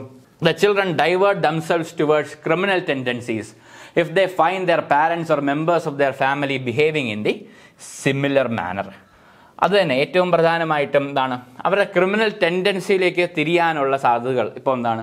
ഒന്ന് സ്മോക്ക് ചെയ്ത് നോക്കാൻ. Smoking is injuries to health എന്ന് നമ്മൾ അല്ലേ മാൻഡേറ്ററി വാർണിംഗ് ഒക്കെ കൊടുക്കും. ചിലയിടത്ത് പബ്ലിക് സ്മോക്കിംഗ് ഒക്കെ പണിഷബിൾ ഒഫൻസ് ആണ്. അറിയാത്തവരാണ് കൂടുതലായിട്ടുള്ളത്. അപ്പോൾ ചില അങ്ങനത്തെ കുറച്ച് ചെറിയ പെറ്റിയ ഒഫൻസസ് മുതൽ വലിയ വലിയ ഒഫൻസിലേക്ക് ഒരു പോകാനൊരു വ്യഗ്രത ഈ കുട്ടികളിൽ കാണും. അപ്പോൾ അത് ഒന്നെങ്കിൽ അവരുടെ കുടുംബത്തിൽ നിന്ന് തന്നെ അവർക്ക് നേരിടേണ്ടി വരുന്ന അബ്യൂസ് ഉണ്ടാകും അത് ഈ ഫിസിക്കൽ ഈ പറയുന്ന അബ്യൂസ് എന്ന് പറഞ്ഞാൽ hitting not only hitting sexual abuse can also lead to what this juvenile delinquency അങ്ങനെ കുട്ടിക്കാലത്ത് ഒരു സെക്ഷൽ അബ്യൂസിലേക്ക് പോകുമ്പോൾ തന്നെ എന്താണ്? പിന്നെ അവൾ അവർ വളർന്നു വരുമ്പോൾ ഹീ വിൽ ബി അല്ലെ he or she will be എന്താണ്? അത് ബാക്കിയുള്ള കുട്ടികളുടെ മേലോ അല്ലെങ്കിൽ ബാക്കിയുള്ളവരുടെ മേലോ അത്രയും അഗ്രസീവ് അത്രയും ഹാർഡ് കോർ ആയിട്ടുള്ള ഒരു സെക്ഷുവൽ ടെൻഡൻസീസ് ഒക്കെ കാണിക്കാനുള്ള സാധ്യതകൾ കൂടുതലാണെന്ന് നമുക്ക് പല പല ലീവിങ് എക്സാമ്പിൾസ് അല്ലെ അതിന്റെ സർക്കംസ്റ്റാൻസസ് സിറ്റുവേഷൻസ് ഒക്കെ നമുക്ക് ഇപ്പോൾ തന്നെ ഇവിടെ സൊസൈറ്റിയിൽ കാണാൻ സാധിക്കുന്നതാണ്. And a child who is grown up in a hostile aggressive parenting atmosphere becomes an easy prey of criminality hostile aggressive parenting atmosphere അതായത് ഏറ്റവും പ്രധാനമായിട്ടുള്ളത് ഫാമിലി പശ്ചാത്തലമായി പറയുന്നത് അല്ലേ? ഹോസ്റ്റൈൽ അഗ്രസീവ് പാരന്റിങ് അറ്റ്മോസ്ഫിയർ അത് തന്നെയാണ് ഏറ്റവും പ്രധാനമായിട്ട് പറയുന്നത്. മനസ്സിലായി കാണും. അപ്പോൾ വീട്ടിൽ എപ്പോഴും കള്ള് കുടിച്ചുകൊണ്ട് വന്ന അമ്മ എടുത്തിട്ട് അടിക്കുകയും മക്കളെ എടുത്തിട്ട് അടിക്കുകയൊക്കെ ചെയ്യുന്ന ആ പ്രശ്നങ്ങളൊക്കെ ഉണ്ടെങ്കിൽ അത് രണ്ട് രീതിയിൽ കാണുന്ന കുട്ടികളുണ്ട്. അത് മനസ്സിലാക്കാനുള്ള ഒരു പക്വത അനുസരിച്ചാണ് ഇരിക്കുന്നത്. ഉദാഹരണത്തിന് മാതൃഭൂമിയിൽ മുമ്പ് വന്നൊരു ഒരു എഴുത്തിൽ വന്നൊരു കഥ എന്റെ മനസ്സിൽ ഓർമ്മ വരികയാണ്. അതിൽ പറയുകയാണ്. വീട്ടിലെന്നും വന്നും അച്ഛൻ എന്താ കള്ള് കുടിച്ചുകൊണ്ട് വന്ന് അമ്മയെ അടിക്കുക മക്കളെയൊക്കെ എടുത്തിട്ട് അടിക്കുക എന്ന സ്വഭാവം കാണുന്നു. അയാൾക്ക് രണ്ട് മക്കളുണ്ട്. അപ്പോൾ ഈ ഒരു കാര്യം ഏതൊക്കെ രീതിയിൽ നമുക്ക് വ്യൂ ചെയ്യാമെന്ന് പറയുന്നുണ്ട്. അതിൽ ഒരു കുട്ടി പറഞ്ഞ എന്റെ അച്ഛൻ എന്താണ് ഇങ്ങനെ മദ്യലഹരിയിൽ വന്ന് അമ്മയെ ഉപദ്രവിക്കുകയും വല്ല അല്ലാത്ത രീതിയിലൊക്കെ വീട്ടിൽ പ്രശ്നങ്ങൾ ഉണ്ടാക്കുകയും സാധന സാധനങ്ങളൊക്കെ എറിഞ്ഞൊടുക്കുകയും അതെല്ലാം ആകെ പ്രശ്നമാക്കുകയും ചെയ്തു. ഞാൻ ഇത് കണ്ടാണ് വളരുന്നത്. ഞാനും ഇതേപോലെ തന്നെ ആയി മാറും. എന്ന് ഉറപ്പിക്കുന്ന ഒരു കുട്ടി. രണ്ടാമത്തെ ഒരു കുട്ടി എന്ന് പറയുന്നത് ചിന്തിക്കുകയാണ്. അച്ഛൻ ഇങ്ങനെ കള്ളും കുടിച്ചുകൊണ്ട് വരും. വീട്ടിൽ അമ്മ എടുത്തിട്ട് അടിക്കും. ഇങ്ങനെ പ്രശ്നങ്ങളുണ്ടാക്കും. അത് ഓരോ പ്രശ്നങ്ങളായി വരും. ആകെ സമാധാനക്കേടുണ്ട്. ഞാൻ ഒരിക്കലും ഇങ്ങനെ ആകരുത്. ഇതല്ല എന്റെ ജീവിതം. ഞാൻ ഒരിക്കലും വളർന്നു വരുമ്പോൾ ഇങ്ങനെ ആകരുത്. അപ്പോൾ നമ്മുടെ തോട്ട് പ്രോസസ്സ് പക്ഷെ അങ്ങനെ ഒരു കുട്ടിക്ക് ചിന്തിക്കാൻ സാധിക്കുമോ എങ്കിൽ അത് നല്ലത്. പക്ഷെ അത്ര ഒരു പക്വത കുട്ടികളിലേക്ക് എത്തുമോ എന്നറിയില്ല. കാരണം ഇപ്പോൾ പക്വത എന്ന് പറയുന്നത് തന്നെ പതിനെട്ട് വയസ്സ് കഴിഞ്ഞാൽ മാത്രമേ പക്വത വരണമെന്നില്ല അല്ലേ? ഇപ്പോൾ ചിലപ്പോൾ പതിനെട്ട് വയസ്സിന് താഴെയുള്ളവർക്ക് പക്വത വരാം. അമ്പത് വയസ്സായാലും പക്വത വരാത്ത ആൾക്കാരും ഉണ്ട് അപ്പോൾ ഇതെല്ലാം അവരുടെ അനുഭവങ്ങളാണ് കുട്ടികളെ അവരെങ്ങനെ വളരണമെന്ന് തീരുമാനിക്കുന്നത്. അപ്പോൾ അവർക്ക് കുറച്ചും കൂടി എളുപ്പമാക്കി കൊടുക്കാനായിട്ട് അവർക്ക് സമാധാന അന്തരീക്ഷമുള്ള ഒരു കുടുംബ പശ്ചാത്തലം ഒരുക്കി കൊടുക്കുക എന്നാണ് നമുക്കിതിൽ ചെയ്യാൻ സാധിക്കുക. പിന്നെ സാമൂഹികവും സാമ്പത്തികവുമായ കണ്ടീഷൻസ് ഉണ്ട്. ഇപ്പോൾ എന്താണ് money is a parameter to judges person societal status അല്ലേ പണമാണ് എല്ലാം. ഇല്ലേ നമുക്ക് നമ്മുടെ രംഗണ്ണൻ നമ്മുടെ മുമ്പിൽ അല്ലേ വലിയ ഉദാഹരണമായിട്ട് തന്നെ കുട്ടികൾക്കൊക്കെ ഒരു മാതൃകയായിട്ട് തന്നെ നിൽക്കുന്നുണ്ട്. അത് ഈ സമയത്ത് തന്നെ ഗവൺമെന്റിന്റെ ഒരു പ്രധാനമായ അവരുടെ സ്കൂളിൽ പോകുന്ന കാര്യം സംബന്ധിച്ചിട്ട് അവരുടെ ചൈൽഡ് ആൻഡ് വിമൻ എന്ന് പറയുന്ന മിനിസ്ട്രി ഡിപ്പാർട്ട്മെന്റ് തന്നെ അവർ ഒരു പരസ്യം ചെയ്തപ്പോൾ ശ്രദ്ധിക്കേണ്ടേ അംബാനെ എന്നൊക്കെ പറഞ്ഞിട്ട് ഓരോ കാര്യങ്ങൾ പറയുന്നുണ്ടായി അല്ലേ? പക്ഷെ അതിനെ കുറ്റം അതിനെ ക്രിട്ടിസൈസ് ചെയ്തു. കാരണം അത് നല്ലൊരു മെസ്സേജ് കുട്ടികളുടെ ഇടയിൽ അത് ശരിക്കും എന്താണ് ഉദ്ദേശിക്കുന്നത്? ഡ്രഗ്സും ബാക്കി കാര്യങ്ങളൊക്കെയുള്ള ആ ഒരു പശ്ചാത്തലം വെച്ചിട്ടാണ് സിനിമ വന്നിരിക്കുന്നത്. അപ്പം അത് കുട്ടികളുടെ ഇടയിൽ നല്ലൊരു എക്സാമ്പിൾ കൊടുക്കുന്നില്ല എന്ന് പറഞ്ഞാൽ ആ പരസ്യം പിൻവലിക്കേണ്ടി വന്നു. അതുതന്നെയാണ് money is a parameter to judge a person societal status എന്ന് പറയുന്ന രീതിയിലേക്ക് നമ്മുടെ ചിന്താധാരകൾ പോയി അല്ലേ? നമ്മൾ ഒരു മനുഷ്യരെ പരിചയപ്പെടുത്തുമ്പോൾ ഒരാൾക്ക് ബഹുമാനം കൊടുക്കുന്നത് പോലും ഇപ്പോൾ ഒരാളുടെ കയ്യിൽ പണവും പദവിയും കൊണ്ടാണ് അല്ലേ? ഇപ്പം he's a chief minister you are a normal man അപ്പോൾ ആരാണ്? ഇയാൾ നല്ലൊരു മനുഷ്യനാണെന്ന് പറഞ്ഞ് ആരും ആരെയും പരിചയപ്പെടുത്തുകയൊന്നും ഇല്ല അല്ലേ?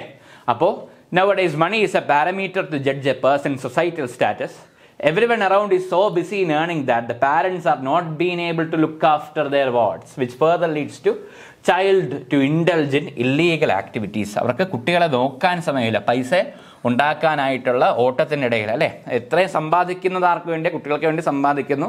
അവന് വേണ്ടി രാവും പകലും കടന്ന് ജോലി ചെയ്യുന്നു എന്ന് പറഞ്ഞാൽ അവൻ എന്നോടൊരു സ്നേഹവുമില്ല എന്ന് പറയുന്ന പ്രധാന കാരണം എന്ന് പറയുന്നത് ആ പൈസ ഉണ്ടാക്കുന്നതിൽ ശ്രദ്ധ കൊടുക്കുന്ന അത്രയും അതിന്റെ ഒരു കണിക പോലും കുട്ടികളിലേക്ക് ശ്രദ്ധ കൊടുക്കുന്നില്ല. കുട്ടികളെ വേറെ ആരെങ്കിലും ഏൽപ്പിക്കുകയോ അല്ലെങ്കിൽ കുട്ടികളെ ഒറ്റയ്ക്ക് വീട്ടിൽ നിർത്തുകയോ ചെയ്യുമ്പോൾ കുട്ടി അവന്റെ സമയം പോകാൻ കണ്ടെത്താനായിട്ട് വേറെ കുറേ കാര്യങ്ങളിലേക്ക് അവൻ കടക്കാനും സാധ്യതയുണ്ട്. അതാണ് സോഷ്യോ എക്കണോമിക് കണ്ടീഷനും. പ്രധാനമാണ്. അതേപോലെ തന്നെ ദാരിദ്ര്യം അനുഭവിക്കുന്ന വീട്ടിലാണെങ്കിൽ അവൻ ചൈൽഡ് ലേബറിലേക്ക് പോകുന്നതും അതുകൊണ്ടാണ്. ആ വീട്ടിൽ വരുമാനമില്ല പൈസ വേണം. എന്റെ കൂട്ടുകാരുടെ കയ്യിൽ ആപ്പിൾ ഐഫോണൊക്കെ ഉണ്ട്. ആപ്പിൾ ഐഫോൺ വരെ ഗിഫ്റ്റ് ചെയ്യുന്ന കുട്ടികൾ വരെ ഉണ്ട് സ്കൂളുകളിൽ. അത് ഈയിടെ സ്കൂളിൽ പോയപ്പോഴാണ് ഞാൻ അത് മനസ്സിലാക്കുന്നത്. നമ്മൾ ഇത്രയും ജോലി ചെയ്യുന്നതൊക്കെ ഇത്രയും കഷ്ടപ്പെട്ട് എന്തിനു വരെ നമുക്ക് തോന്നിപ്പോകുന്ന അവസ്ഥകളൊക്കെ കുട്ടികളുടെ ഭാഗത്തു നിന്നൊക്കെ ഉണ്ടായിരുന്നു. സാധാരണ വീട്ടിൽ അപ്പോൾ അത് കാണുമ്പോഴെന്താ? ബാക്കി അതേ സ്റ്റാറ്റസ് ഇല്ലാത്തൊരു കുട്ടി പാരൻസിനെ കുറ്റപ്പെടുത്തുകയും പിന്നെ അവൻ വേറെ ഏതെങ്കിലും വഴികൾ കണ്ടുപിടിച്ച് പ്രശ്നങ്ങൾ എന്താണ് ഓരോ പൈസ ഉണ്ടാക്കുകയും ചെയ്യും. അതേപോലെ തന്നെ പെൺകുട്ടികളും പ്രത്യേകിച്ച് പെൺകുട്ടികൾ ആൺകുട്ടികൾ തന്നെ ഇപ്പോൾ എന്താണ് ഈ സെക്സ് വീഡിയോ കോൾസ് അങ്ങനെ പറഞ്ഞ് പല പല രീതിയിൽ ഇൻസ്റ്റാഗ്രാം വഴിയൊക്കെ അവർ അവരുടെ അവരുടെ ഡിഗ്നിറ്റിയെ തന്നെ വിറ്റ് ജീവിക്കുന്ന കുട്ടികളെ സംബന്ധിച്ചിട്ടുള്ള റിപ്പോർട്ടുകൾ വരെ ലഭ്യമാകുന്നുണ്ട്. പിന്നെ വരുന്ന നെയ്ബർഹുഡ് എന്ന് പറയുന്ന അയൽവാസം നമ്മൾ അടുത്ത് താമസിക്കുന്ന അയൽവാസികൾ എങ്ങനെയാണ്? On one things lead to another അല്ലേ? As parents are guardians are busy in their lively their own livelihood the bad influence of neighbours bad influence of neighbours also tend to destroy the genesis of a child അല്ലേ? അത് എവിടെ എന്താണ്? കൂട്ടുകൂടുന്നോ അവിടുത്തെ ആ ഒരു വാസന നമുക്ക് ലഭിക്കുന്നതാണ് പറയുന്നത്. അല്ലേ? നമുക്ക് സാധാരണ തേനീച്ച തേൻ നുകരുകയാണെങ്കിൽ അല്ലേ പൂക്കളിൽ നിന്ന് തേൻ നുകരുക അതേപോലെ ഈച്ച ഈച്ച ഇരിക്കുന്ന നല്ലൊരു ഫ്രൂട്ട്സിന് മേലിരിക്കും അഴുക്ക ചീഞ്ഞ് അവിടെ പോയിരിക്കും അങ്ങനെ പലയിടത്തൊക്കെ പോയിരിക്കും അല്ലേ? അപ്പോൾ എവിടെയാണോ കൂട്ടുകൂടുന്നത് അതനുസരിച്ച് കുട്ടികളുടെ സ്വഭാവ രൂപീകരണവും സംഭവിക്കുമെന്നാണ് പറയുന്നത്. അത് ഒരു ഡെലിക്വൻസിയിലേക്ക് വേണമെങ്കിൽ നയിക്കാം അല്ലേ ഇപ്പം നല്ല നല്ല ഫ്രഷ് ആയിട്ടുള്ള ഫ്രൂട്ട്സിലിടെ ഒരു കുറേ അഴുവി ഒരു ആപ്പിൾ കൂടെ എന്റെ അടുത്ത് വെച്ചാൽ രണ്ട് ദിവസം കഴിയുമ്പോൾ ബാക്കിയെല്ലാം കൂടി അഴുവി തുടങ്ങുന്നത് നമുക്ക് കാണാൻ സാധിക്കും അല്ലേ അപ്പോൾ അതിന്റെ ഒരു ഇമ്പാക്റ്റ് എന്ന് പറയുന്നത് പെട്ടെന്ന് എന്താണ് അവരെ ബാധിക്കുന്നതാണ്. കുട്ടികളെ പാരൻസിന് നോക്കാൻ ശ്രദ്ധിക്കാൻ സമയമില്ലെങ്കിൽ അയൽക്കാരോ ബാക്കി എല്ലാവരും പോയി നമുക്ക് ഏറ്റവും വലിയ പ്രശ്നമാണ് ചൈൽഡ് സെക്സ് അബ്യൂസിലേക്കൊക്കെ കടക്കാൻ സാധിക്കും. അത് കുട്ടികളിലേക്ക് ഒരു ഡെലിക്വൻസിയുടെ ഒരു കാര്യം കൊണ്ടുവരികയും ചെയ്യും എന്നാണ് പറയുന്നത്. ആൽക്കഹോളിസം അല്ലേ? മദ്യം രുചിച്ച് നോക്കാനുള്ള tendency increasing trends of alcoholism has further triggered children to intelligent criminal activities അത് ആൺകുട്ടികൾ പെൺകുട്ടികൾ വ്യത്യാസമില്ലാതെ എല്ലാ കുട്ടികളും തന്നെ അത് ഒരു ട്രെൻഡ് ഓഫ് ആൽക്കഹോളിസം ഒരു റീസൺ ആയിട്ട് പറയുന്നു. പിന്നെ വരുന്നത് peer pressure peer pressure behaviour of an individual usually depends upon peers അല്ലേ കൂട്ടുകാർ പറയും എടാ അങ്ങനെ ചെയ്ത് നീ ഇത് ചെയ്ത് നീ ഒക്കെ ആണാണോ? നീ ഇത് ചെയ്യാതൊക്കെ ഇരിക്കുന്നത്? അല്ലെ എന്തോ അടി നീ കാണിക്കുന്നത്? നിനക്കിതൊന്നും ഇല്ലേ? അയ്യ നീനെ ഇങ്ങനെ കാണാൻ കൊള്ളാം. നിനക്ക് എന്തിന് കൊള്ളാം? നിനക്ക് എന്ത് കഴിവാ ഉള്ളത്? എന്നൊക്കെ പറഞ്ഞുള്ള ഇല്ലേ ഓരോ സംസാരങ്ങളൊക്കെ ഉണ്ടാവും കൂട്ടുകാരിൽ നിന്നും. അപ്പോൾ അങ്ങനെയുള്ള ഒരു ബിഹേവിയർ പിയർ പ്രഷർ കാരണം പല പല കാര്യങ്ങളിലേക്ക് പോകും. അപ്പോൾ എന്താണ്? ആക്ട് അവർ എന്താണ് അവരുടെ മുമ്പേ വരാനായിട്ട് ഒരു ക്രൈം ചെയ്യാനായിട്ട് വരെ മുമ്പിലേക്ക് വരും. സ്കൂളിലൊക്കെ നടക്കുന്ന കുട്ടികൾ തമ്മിലുള്ള അടിപിടി പൊതുവിടങ്ങളിൽ തന്നെ അടികൂടുന്നതൊക്കെ ഇതിന്റെ ഒരു ഭാഗമായിട്ട് പിയർ പ്രഷറിന്റെ ഭാഗമായിട്ട്. അതും പല രീതിയിലും അവർ സ്റ്റോറീസൊക്കെ കുട്ടികളുടെ അവരുടെ ഇൻസ്റ്റാഗ്രാമിലൊക്കെ സ്റ്റോറീസൊക്കെ ഇടുന്നത് തന്നെ കാണുമ്പോൾ തന്നെ നമുക്ക് കേട്ടാൽ തന്നെ അറ എന്താണ് ജനിക്കണ്ടായിരുന്നു എന്ന് വരെ തോന്നിപ്പോകുന്ന വാക്കുകൾ ഉപയോഗിച്ച് കുട്ടികളെ പരസ്പരം ചീത്ത വിളിക്കുന്ന സ്റ്റോറീസ് ഇട്ട് ചീത്ത വിളിക്കുന്നവരെ നമുക്ക് കാണാൻ സാധിക്കും. അപ്പോൾ അതൊക്കെ ഒരു പിയർ പ്രഷറാണ് കാരണം അവസാനം അവർ ഒറ്റയ്ക്കാവുമ്പോഴേ അവർ മനസ്സിലാക്കുകയുള്ളൂ ഇതൊക്കെ ആ സമയത്തിന്റെ ഒരു കാര്യം മാത്രമായിരുന്നു എന്ന് ഇതാണ്. If a child remains with other delinquents then he will be more prone to criminal activities which he could not think of alone അതേപോലെ ക്രിമിനൽ കുറ്റകൃത്യമായി അല്ലെങ്കിൽ നിയമമായി പൊരുത്തപ്പെടാതിരിക്കുന്ന അല്ലെങ്കിൽ കുറ്റകൃത്യങ്ങൾ ചെയ്യുന്ന കുട്ടികളുമായിട്ടുള്ള സദാസമ്പർക്കം വരികയാണെങ്കിൽ ആ കുറ്റകൃത്യം ചെയ്യുന്ന കുട്ടികൾ അവർക്കൊരു മാറ്റം വരണമെന്ന് ആഗ്രഹമില്ലാത്ത കുട്ടികളുടെ കൂടെയുള്ള കൂട്ടുകൂടുകയാണെങ്കിൽ എന്നാണ് നമുക്ക് കുറച്ചും കൂടി പറയാം. അങ്ങനെയാണെങ്കിൽ ഈ കുട്ടിയെയും കൂടി ചിലപ്പോൾ എന്താണ് അങ്ങനെ ഒരു ക്രിമിനൽ ആക്ടിവിറ്റീസിലേക്ക് പോകാനായിട്ട് സാധ്യതയുണ്ട് എന്നാണ് പറയുന്നത്. സിനിമ ആൻഡ് സോഷ്യൽ മീഡിയ ഞാൻ നേരത്തെ പറഞ്ഞാണ് എല്ലാവർക്കും അറിയുന്നത് തന്നെയാണ്. Plays an important role in overall development of a person അല്ലേ what they watch on social media and television they try to do in the real life also പണ്ടൊരു cinema ഇറങ്ങുമ്പോൾ അല്ലേ ഇപ്പോൾ ചില സിനിമകളെ കുറ്റം പറയില്ലേ? ഇപ്പം ഇതിങ്ങനെ കാണുമ്പോൾ ദൃശ്യം സിനിമ വന്നപ്പോഴാണ് കുറ്റകൃത്യങ്ങൾ കൂടിയതായിട്ട് ആൾക്കാർ പറയുന്നു. ഇപ്പോൾ തിളക്കം സിനിമ ഉണ്ടായിരുന്ന സമയത്ത് കുട്ടികളായിരിക്കുന്ന അത് കണ്ടു കണ്ട് പലരുടെയും മുണ്ട് പറിക്കുന്ന ഒരവസ്ഥയൊക്കെ ആ ഒരു സമയത്ത് കുട്ടികൾക്ക് അത് തമാശയാണ്. പക്ഷേ അത് വേറൊരു സോഷ്യൽ കൺസേൺ ആയിട്ടൊക്കെ പറയും. സിനിമകളുടെ ഇൻഫ്ലുവൻസ് പിന്നെ സോഷ്യൽ മീഡിയ ഇൻഫ്ലുവൻസ്. എത്ര ഇൻഫ്ലുവൻസേഴ്സ് ആണുള്ളത്. ആ ഇൻഫ്ലുവൻസ് എന്ന വാക്ക് തന്നെയാണ് ഏറ്റവും പ്രധാനമായിട്ട് പറയുന്നത്. പിന്നെ സിഗ്നിഫിക്കൻസ് ഓഫ് സ്കൂൾ ഇത് ഏറ്റവും പ്രധാനമാണ്. ഏറ്റവും താഴെ കൊടുക്കേണ്ടതായിരുന്നില്ല. ഏറ്റവും പ്രധാനമായിട്ടുള്ള ഒരു റോൾ എന്താണ് റോളാണ് significance school because school is the second home എന്നാണ്. ഒരു രക്ഷകർത്താക്കൾ കുട്ടികളിൽ നിന്ന് അറിയാത്ത കാര്യങ്ങൾ വരെ ഒരു സ്കൂൾ ടീച്ചറിന് മനസ്സിലാക്കിയെടുക്കാൻ സാധിക്കുമെന്നാണ് പറയുന്നത്. അപ്പോൾ the school plays and significant role in upbringing of a child it is the second school it is the school where the child has the closest relation with other children for a such a long time ആ കുട്ടികളുടെ ഇടയിലാണ് കുട്ടികൾ കൂടുതലായിട്ട് അവരുടെ അവരുടെ കാര്യങ്ങൾ കൂടുതൽ share ചെയ്യാൻ സാധ്യതയുള്ളൂ. അപ്പോൾ അതിൽ നിന്നും അപ്പോൾ അവിടെ ഷെയർ ചെയ്യുന്ന സംബന്ധിച്ച് അവരിലുള്ള ഇൻഫ്ലുവൻസ് കുട്ടികളിൽ നിന്ന് ഇൻഫ്ലുവൻസ് അല്ലെ ടീച്ചേഴ്സിൽ നിന്നുള്ള ഇൻഫ്ലുവൻസ് ഒരു കുട്ടി എങ്ങനെയാണ് വേർതിരിച്ച് കാണുന്നത്? ജെൻഡർ ബേസ് ചെയ്തിട്ടോ? ആൺ പെൺ വ്യത്യാസത്തിലോ? Raise കളറിന്റെ വ്യത്യാസത്തിലോ?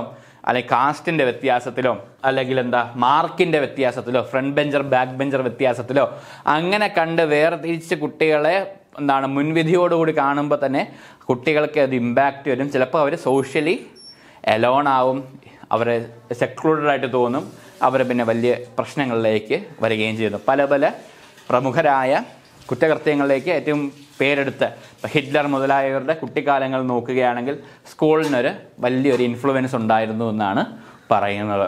School is usually thought as a constructive agency but when it fails to perform its designated functions it may become by virtue of its negligence the main contributor of delinquency by virtue of its negligence അശ്രദ്ധ അകാരണമായ അശ്രദ്ധ കൊണ്ട് എന്താണ് a main contribution to delinquency സ്കൂളിൽ തന്നെ പല പല പ്രശ്നങ്ങളിലേക്ക് പോകാം. ആ കുട്ടികളുടെ ഇട- ഇടയിലുള്ള പ്രശ്നങ്ങൾ അത് മനസ്സിലാക്കി കഴിഞ്ഞാൽ അത് തീർച്ചയായിട്ടും അത് അഡ്രസ്സ് ചെയ്യേണ്ട രീതിയിൽ തന്നെ അഡ്രസ്സ് ചെയ്യണം. അത് അറിയുകയും കൂടി ചെയ്യുകയാണ്. അതെല്ലാം അറിഞ്ഞുകൊണ്ട് അതൊന്നും ചെയ്യാതിരിക്കുകയാണെങ്കിൽ അത് വലിയ വലിയ പ്രശ്നങ്ങളിലേക്ക് കിടക്കാൻ സാധ്യതയുണ്ട്. അതർ ഫാക്ടേഴ്സ് ഇതൊന്നും അല്ലാതെ നമുക്ക് പറയാൻ പറ്റുന്ന പക്ഷെ ഇതെല്ലാം സൊസൈറ്റിയിലൊക്കെ വരുന്ന കുറച്ച് കാര്യങ്ങളാണ്. സൊസൈറ്റിയിൽ ആൻഡ് എൻവയോൺമെന്റൽ കോസസിൽ തന്നെ വരുന്നതായിരിക്കും. അതർ ഫാക്ടേഴ്സ് പറയുന്നു ചൈൽഡ് ലേബർ അല്ലേ ബാലവേല അബ്യൂസീവ് ചൈൽഡ്ഹുഡ് ഞാൻ പറഞ്ഞു കഴിഞ്ഞു. ട്രോമാറ്റിക് എക്സ്പീരിയൻസസ് പറഞ്ഞു കഴിഞ്ഞു. ഫിനാൻഷ്യൽ ഇഷ്യൂസ് ഉണ്ട്. ഇല്ലിട്രസി പഠിക്കാൻ പറ്റാത്ത സ്കൂളിൽ പോകാൻ പറ്റാത്തതൊക്കെ പ്രശ്നങ്ങളാവും. അൺസൗണ്ട് എന്ന പൈസയാണ് മുഖ്യമെന്ന് കണ്ട് സ്കൂളിൽ പോകാതെ ഇപ്പോഴേ ഞാൻ അവർ പഠിക്കുന്നവരുടെ പൈസ ഇല്ല ഞാൻ എനിക്കിപ്പോൾ പണം സമ്പാദിക്കണം എന്ന രീതിയിൽ ഇറങ്ങുകയാണ് കുട്ടികൾക്ക്. പോക്കറ്റ് മണി കിട്ടാത്തതിന്റെ പേരിൽ കുട്ടികൾ വേറെ ജോലികളിലൊക്കെ ഏർപ്പെടുന്ന സമ്പ്രദായങ്ങളൊക്കെ ഉണ്ട്. അൺസൗണ്ട്നെസ് ഓഫ് മൈൻഡ് സ്ഥിരതയില്ലാത്ത ബുദ്ധി നമുക്ക് ഇൻസാനിറ്റി എന്നൊക്കെ പറയും നമ്മൾ കുട്ടികൾക്ക് ബുദ്ധിസ്ഥിരത ഇല്ലാതിരിക്കുക ബുദ്ധിമാന്തി ഉണ്ടായിരിക്കാം ഒരു കാര്യത്തിൽ ഒരു തീരുമാനം എടുക്കാനുള്ള ഒരു ധാരണ ഇല്ലാതിരിക്കുക അതൊക്കെ unsoundness of the mind are also responsible for delinquent behaviour in juveniles അപ്പോൾ പരീക്ഷയ്ക്ക് ഇപ്പോൾ എങ്ങനെ വരുന്നു ചോദിച്ചാൽ ഏതൊക്കെ ഈ പറ താഴെ പറയുന്ന കോസുകൾ ഏതൊക്കെയാണ്? എന്താണ്? നിങ്ങൾ ഇപ്പോൾ പല പല ഓപ്ഷൻസ് ഉണ്ടാകും ഏതൊക്കെയായിരിക്കും ജുവനൈൽ ഡെലിക്വൻസിക്ക് കാരണമാകാത്തത് അല്ലെ ആകുന്നത് എന്ന രീതിയിൽ വേണമെങ്കിൽ ചോദിക്കാം. അതിൽ പ്രധാനപ്പെട്ട് വരുന്ന പ്രധാനപ്പെട്ട കോസസ് ഒക്കെ ഇവിടെ ഡിസ്കസ് ചെയ്തിട്ടുണ്ട്. അങ്ങനെ പല പല കാരണങ്ങൾ കൊണ്ട് എന്താണ് ഈ പറയുന്ന ജുവനൈൽ ഡെലിക്വൻസി വരുമ്പോൾ തന്നെ അതിങ്ങനെയുള്ള ബിഹേവിയർ രണ്ട് രീതിയിലുള്ള കുറ്റകൃത്യങ്ങളെയാണ് ഐഡന്റിഫൈ ചെയ്യുന്നത്. Juvenile delinquency shows two general types of behaviours the status of offence ഒന്ന് status of offence status offence എന്ന് പറയുന്നതും രണ്ട് ഡെലിക്വന്റ് ഒഫൻസസ് എന്ന് പറയും രണ്ട് രീതിയിലുള്ള ബിഹേവിയർ ജുവനൈൽ ഡെലിക്വന്റ് ബിഹേവിയേഴ്സ് ഈ പറയുന്ന കോസസ് കൊണ്ട് സംഭവിക്കാം. സ്റ്റാറ്റസ് ഒഫൻസ് എന്നാണ് സ്റ്റാറ്റസ് ഒഫൻസ് ഇത് തന്നെയാണ്. അത് വീണ്ടും ബോൾഡായി പോകുന്നേ ഉള്ളൂ. Never mind status offence and delinquent offence എന്ന് പറയും. സ്റ്റാറ്റസ് ഒഫൻസ് എന്ന് പറയുന്നത് are not consider to be good for children and adolescents because of the age of the offender status offence എന്ന് പറയുമ്പോൾ അവരുടെ പ്രായത്തിൽ ഈ പറയുന്ന കാര്യങ്ങളൊന്നും ചെയ്യാൻ പാടില്ല എന്ന് പറയും അല്ലേ? നിങ്ങൾ ഒരു പതിനെട്ട് വയസ്സ് പക്വത എത്തട്ട് അല്ലേ? എത്തട്ടെ എന്നിട്ട് നമുക്ക് ഈ പറയുന്ന കാര്യങ്ങളൊക്കെ നോക്കാം എന്ന് പറയുന്നതാണ്. അതൊരിക്കലും കുട്ടികൾക്ക് ചെയ്യാ ചേരാത്തതാണെന്നാണ് പറയുന്നത്. സ്റ്റാറ്റസ് എന്ന് പറയും. എന്താ ഡ്രിങ്കിങ് ഓർ പൊസസിങ് ആൽക്കഹോൾ മദ്യം കൺസ്യൂം ചെയ്യുക. പിന്നെ കൺസ്യൂമിങ് ടുബാക്കോ ടുബാക്കോ ഉപയോഗിക്കുക പുകവലിക്കുക റണ്ണിങ് അവേ ഫ്രം ഹോം അല്ലേ? നമ്മളൊക്കെ ഒരു സമയത്ത് തന്നെ വീട്ടിൽ നിന്ന് ഓരോ വഴക്ക് കഴിയുമ്പോൾ തന്നെ പെട്ടിയൊക്കെ ഇങ്ങനെ ചെറിയ കിട്ടുന്ന ബാഗൊക്കെ സ്കൂൾ ബാഗൊക്കെ രണ്ട് തുണിയെങ്കിലും എടുത്ത് വെച്ചിട്ടുള്ള കുട്ടികൾ ഈ പറയുന്ന ക്ലാസ് കേൾക്കുന്നവരുണ്ടാവാം. ചിലപ്പോൾ എന്നിട്ട് പക്ഷേ പോകില്ല അപ്പോൾ ആയിരിക്കും അമ്മ മീൻ പൊരിക്കുന്നത്. അപ്പോൾ വീട്ടിൽ തന്നെ നിൽക്കുന്ന പോണ്ട എന്ന് വിചാരിക്കുന്ന നമ്മൾ മിക്കവാറും അത് അതുകൊണ്ടാണ് നമ്മൾ ഇവിടേക്ക് ഇരിക്കുന്നത് അല്ലേ? അപ്പോൾ ചില കുട്ടികൾ പക്ഷെ അങ്ങനെയല്ല. വീട് വിട്ട് പോകുന്നവരുണ്ട്. And or not attending school without any good reason സ്കൂളിൽ പോവാതിരിക്കുക ഒരു റീസണും ഇല്ലാതെ സ്കൂളിൽ പോവാതിരിക്കുക. And violating curfew are examples of status offence violating നമുക്ക് ഈ കോവിഡ് സമയത്തൊക്കെ കാണാമല്ലോ. പുറത്തിറങ്ങരുത് എന്ന് പറയുമ്പോൾ തന്നെ ചില കുട്ടികൾ പുറത്തിറങ്ങി വെള്ളത്തിൽ പോയി കുളിക്കുന്നു കുളത്തിൽ പോയി കുളിക്കുന്നു. പല പല എന്നാലും ഈ ഇപ്പം ഈ പ്രളയ പ്രളയ സമയത്ത് തന്നെ അല്ലേ? ഈ സമയം ഈ സമയത്ത് തന്നെ ഒന്നിനോ ജല സ്രോതസ്സുകളൊന്നും ഇറങ്ങരുത് എന്നൊക്കെ പ്രത്യേകം നിഷ്കർഷിക്കുമ്പോൾ തന്നെ അതിനെയൊക്കെ വയലേറ്റ് ചെയ്ത് പോയി ചാടി കുളിക്കുക വേറെ കാര്യങ്ങളൊക്കെ ചെയ്യുക. പിന്നെ എന്താണ് സ്കൂൾ വിട്ട് പോവുക സ്കൂളിൽ നിന്ന് ഓടി അല്ല വീട്ടിൽ നിന്ന് ഓടിപ്പോവുക പോവുക സ്കൂളിൽ പോവാതിരിക്കുക. പിന്നെ ഈ പറയുന്ന കാര്യങ്ങളൊക്കെ സ്റ്റാറ്റസ് ഒഫൻസ് എന്ന് പറയുന്നു സാധാരണ മുതിർന്നവർ ചെയ്താൽ ഇറ്റ് ഈസ് നോർമൽ എന്ന് പറയും. മുതിർന്നവന്റെ സ്കൂൾ വീട്ടിൽ നിന്ന് പോവും. ചിലപ്പോൾ അവരുടെ വിഷമങ്ങൾ കൊണ്ട് അവർക്ക് പോകാം അവർക്ക് വേറെ വഴിയില്ലാതെ അവർ പലയിടത്തും പോകാറുണ്ട് പക്ഷെ കുട്ടികൾ പോകുമ്പോൾ അതൊരിക്കലും അതങ്ങനെ ചെയ്യാൻ പാടില്ല. അവരെ അന്വേഷിച്ച് കണ്ടുപിടിച്ച് കൊണ്ടുവരും. മുതിർന്നവർ പോയാൽ പോയി ഇല്ലേ? അങ്ങനെ നിൽക്കുന്ന ഒരു അവസ്ഥയാണ്. And these offences also include include incorrigibility waywardness idleness and being ungovernable ഒരു ഒരു എന്താണ് റബലായിട്ട് നിൽക്കുക നമ്മളൊരു ചുരുക്കം വാക്കിൽ നമ്മൾ ഒരു കൊളോക്കിയലായിട്ട് പറയുന്നത് തന്നെയാണ് ഈ പറയുന്നത്. വേവ തോന്നിയ വാസ്യം പോലെ ജീവിക്കാം ഒരു മന്ദ ഒരു ഐഡലായിട്ട് ഇങ്ങനെ ഇരിക്കുക. പകല പകൽ രാത്രിയ രാത്രി. എന്ന രീതിയിൽ ജയിച്ച ജയിച്ചു. തോറ്റ തോറ്റ്. എന്ന് പറഞ്ഞ പോലെ ഇരിക്കുന്ന ഒരു അവസ്ഥയുണ്ട് idleness just scrolling the phone and doing nothing that is productive in his life എന്ന് പറയുന്ന ഒരു രീതി. അപ്പോൾ അത് അവനവിടെ ഒരു അടിമ സ്ലേവായിട്ട് വെച്ചിരിക്കുന്ന ഒരു അവസ്ഥ വേ വാഡ്നസ് തോന്നിയ പോലെ. ഒരു ഒരു ഇതും ലക്കും ലഗാനും ഇല്ല എന്ന് പറയുന്ന പോലെ. അൺഗവർണബിൾ. ഒരിക്കലും നമുക്കൊന്ന് മോനെ ഇങ്ങനെയൊന്നും അല്ല തിരിച്ചു വാ എന്ന് പറഞ്ഞ് കൊണ്ടുവരാൻ പറ്റാത്ത രീതിയിലൊക്കെയുള്ള കാര്യങ്ങളിലേക്കുള്ള ഒഫൻസസ് അൺഗവർണബിൾ ഇത് അങ്ങനെ ചെയ്യുന്ന തടയാൻ പോലും പറ്റാത്ത കുറേ പ്രശ്നങ്ങൾ. And juvenile justice system has devised formal labels for adolescents that's are that are in need which is depending on the jurisdiction അപ്പോൾ ഇതിനെയൊക്കെ അഡ്രസ്സ് ചെയ്യാനായിട്ട് കുറച്ച് കാര്യങ്ങളുണ്ട്. ഈ പ്രശ്നങ്ങൾ സ്റ്റാറ്റസ് ഒഫൻസ് എന്ന് പറയുമ്പോൾ തന്നെ അതിലെ കുട്ടികളെ അവിടെ എന്തൊക്കെ കാര്യങ്ങളാണ് അവരെ സൂപ്പർവൈസ് ചെയ്യേണ്ടത് എന്ന് പറഞ്ഞിട്ട് നാലായിട്ട് തിരിക്കുന്നത്. CHINS MINS PINS FINS INS അല്ലേ ഇത് അങ്ങനെയാണ് പറയുന്നത് child in need of supervision ഇങ്ങനെയുള്ള കുട്ടികളെ ഒന്ന് സൂപ്പർവൈസ് ചെയ്യണം. Person in need of supervision minor in need of supervision family in need of supervision youth in need of supervision ഇങ്ങനെ നാലായിട്ടാണ് ഈ സ്റ്റാറ്റസ് ഒഫൻസിനെ സംബന്ധിച്ചിട്ട് അതിനെ എങ്ങനെ അഡ്രസ്സ് ചെയ്യണമെന്ന് പറയുന്ന രീതിയിൽ അല്ലേ അപ്പോൾ ജുവനൽ ജസ്റ്റിസ് എന്ന ഇതിനൊക്കെ അഡോളസൻസിലുള്ളവർക്ക് അവരെ എങ്ങനെയൊക്കെയാണ് സൂപ്പർവൈസ് ചെയ്യുന്നത്? അവരുടെ എന്ത് ഏതൊക്കെ സാഹചര്യങ്ങളെയാണ് ശ്രദ്ധിക്കേണ്ടത്? അതാണ്. ആ കുടുംബത്തെ പശ്ചാത്തലമാണെങ്കിൽ അവരുടെ കുട്ടികൾ ചൈൽഡ് അവിടുത്തെ കുട്ടിയെ ശ്രദ്ധിക്കണം അല്ല അവിടെയുള്ള വ്യക്തികളെ ശ്രദ്ധിക്കണം. ഇപ്പോൾ അവിടെ മൈനേഴ്സ് ഉണ്ടെങ്കിൽ മൈനർ എയ്റ്റീൻ ഇയേഴ്സിന് താഴെയുള്ള മൈനർ എന്നാണ്ട് നിയമവും നിഷ്കർഷിക്കുന്നു. കുടുംബത്തിനെ ശ്രദ്ധിക്കണം യുവാക്കളെ ശ്രദ്ധിക്കണം. അപ്പോൾ ഇങ്ങനെ നാലായി തിരിച്ച് അവരെയൊക്കെ ഈ പറയുന്ന സ്റ്റാറ്റസ് ഓർ ഡെലിക്വന്റ് ഒഫൻസിലൊന്നും പോവാതിരിക്കാനായിട്ട് ശ്രദ്ധിക്കണം എന്നാണ് പറയുന്നത്. ഡെലിക്വന്റ് ഒഫൻസ് എന്ന് പറഞ്ഞാൽ ലീഗൽ സ്റ്റാറ്റസ് നിയമപരമല്ലാത്ത കാര്യങ്ങൾ. നമ്മൾ വിളിക്കുന്ന കുട്ടിയാണ് നിയമവുമായി പൊരുത്തപ്പെടാത്ത കാര്യങ്ങൾ ചെയ്യുന്നവരെയാണ്. ഡുലക്കൻ അല്ല ഡെലിക്വന്റ് ഒഫൻസസ് എന്ന് പറയുന്നത്. Act or violence are include എന്ന ഡെലിക്കൻ ഒഫൻസിന്റെ അകത്ത് വരുന്നത് മർഡർ റേപ്പ് ആംഡ് റോബറി കൊള്ള aggravated and simple assault harassment stalking menacing child abuse and other similar offence ഈ പതിനെട്ട് വയസ്സിന് താഴെയുള്ള കുട്ടികൾ തന്നെ കുട്ടികളെ അബ്യൂസ് ചെയ്യാറുണ്ട്.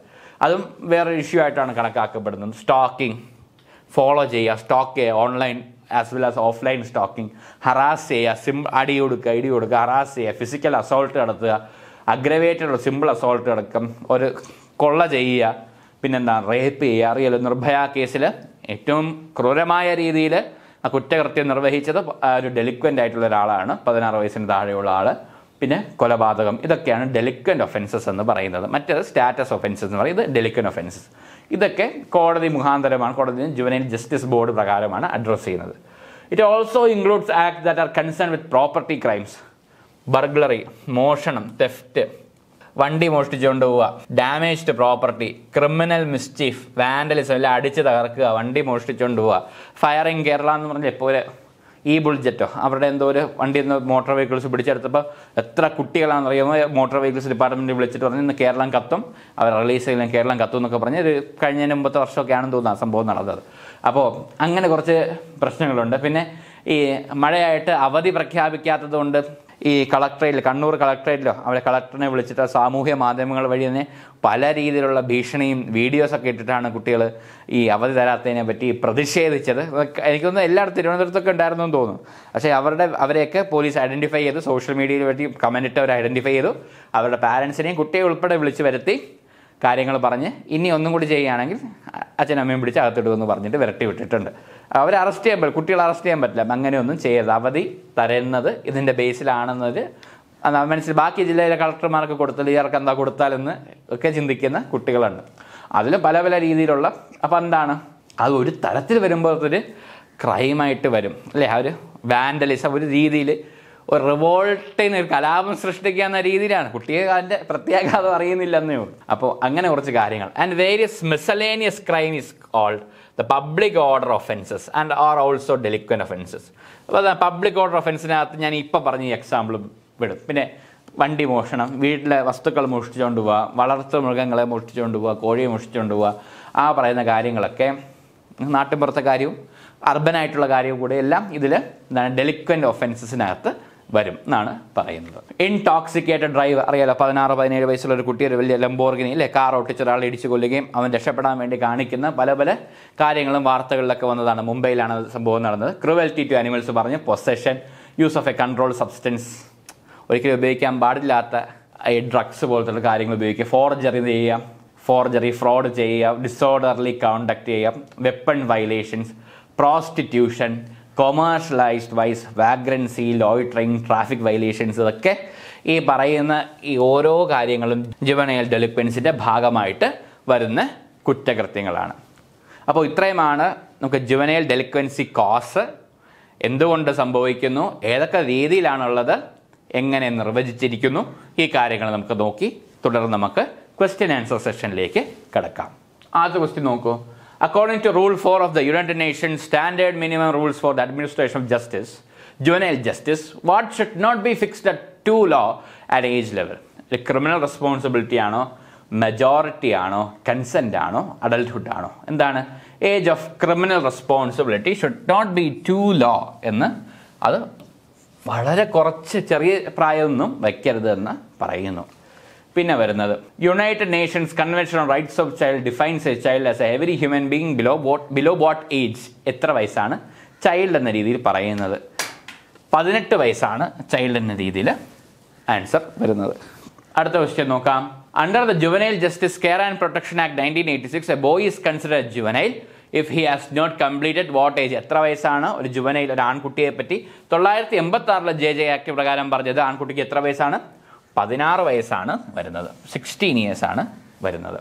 Okay under the juvenile justice care and protection of children act two thousand who is consider juvenile or child juvenile അല്ലെങ്കിൽ കുട്ടി എന്ന് പറയുന്നത് എത്ര വയസ്സിന് താഴെയാണെന്നാണ് രണ്ടായിരത്തിലെ ജെ ജെ ആക്ട് പ്രകാരം എത്ര വയസ്സിന് താഴെയാണ്?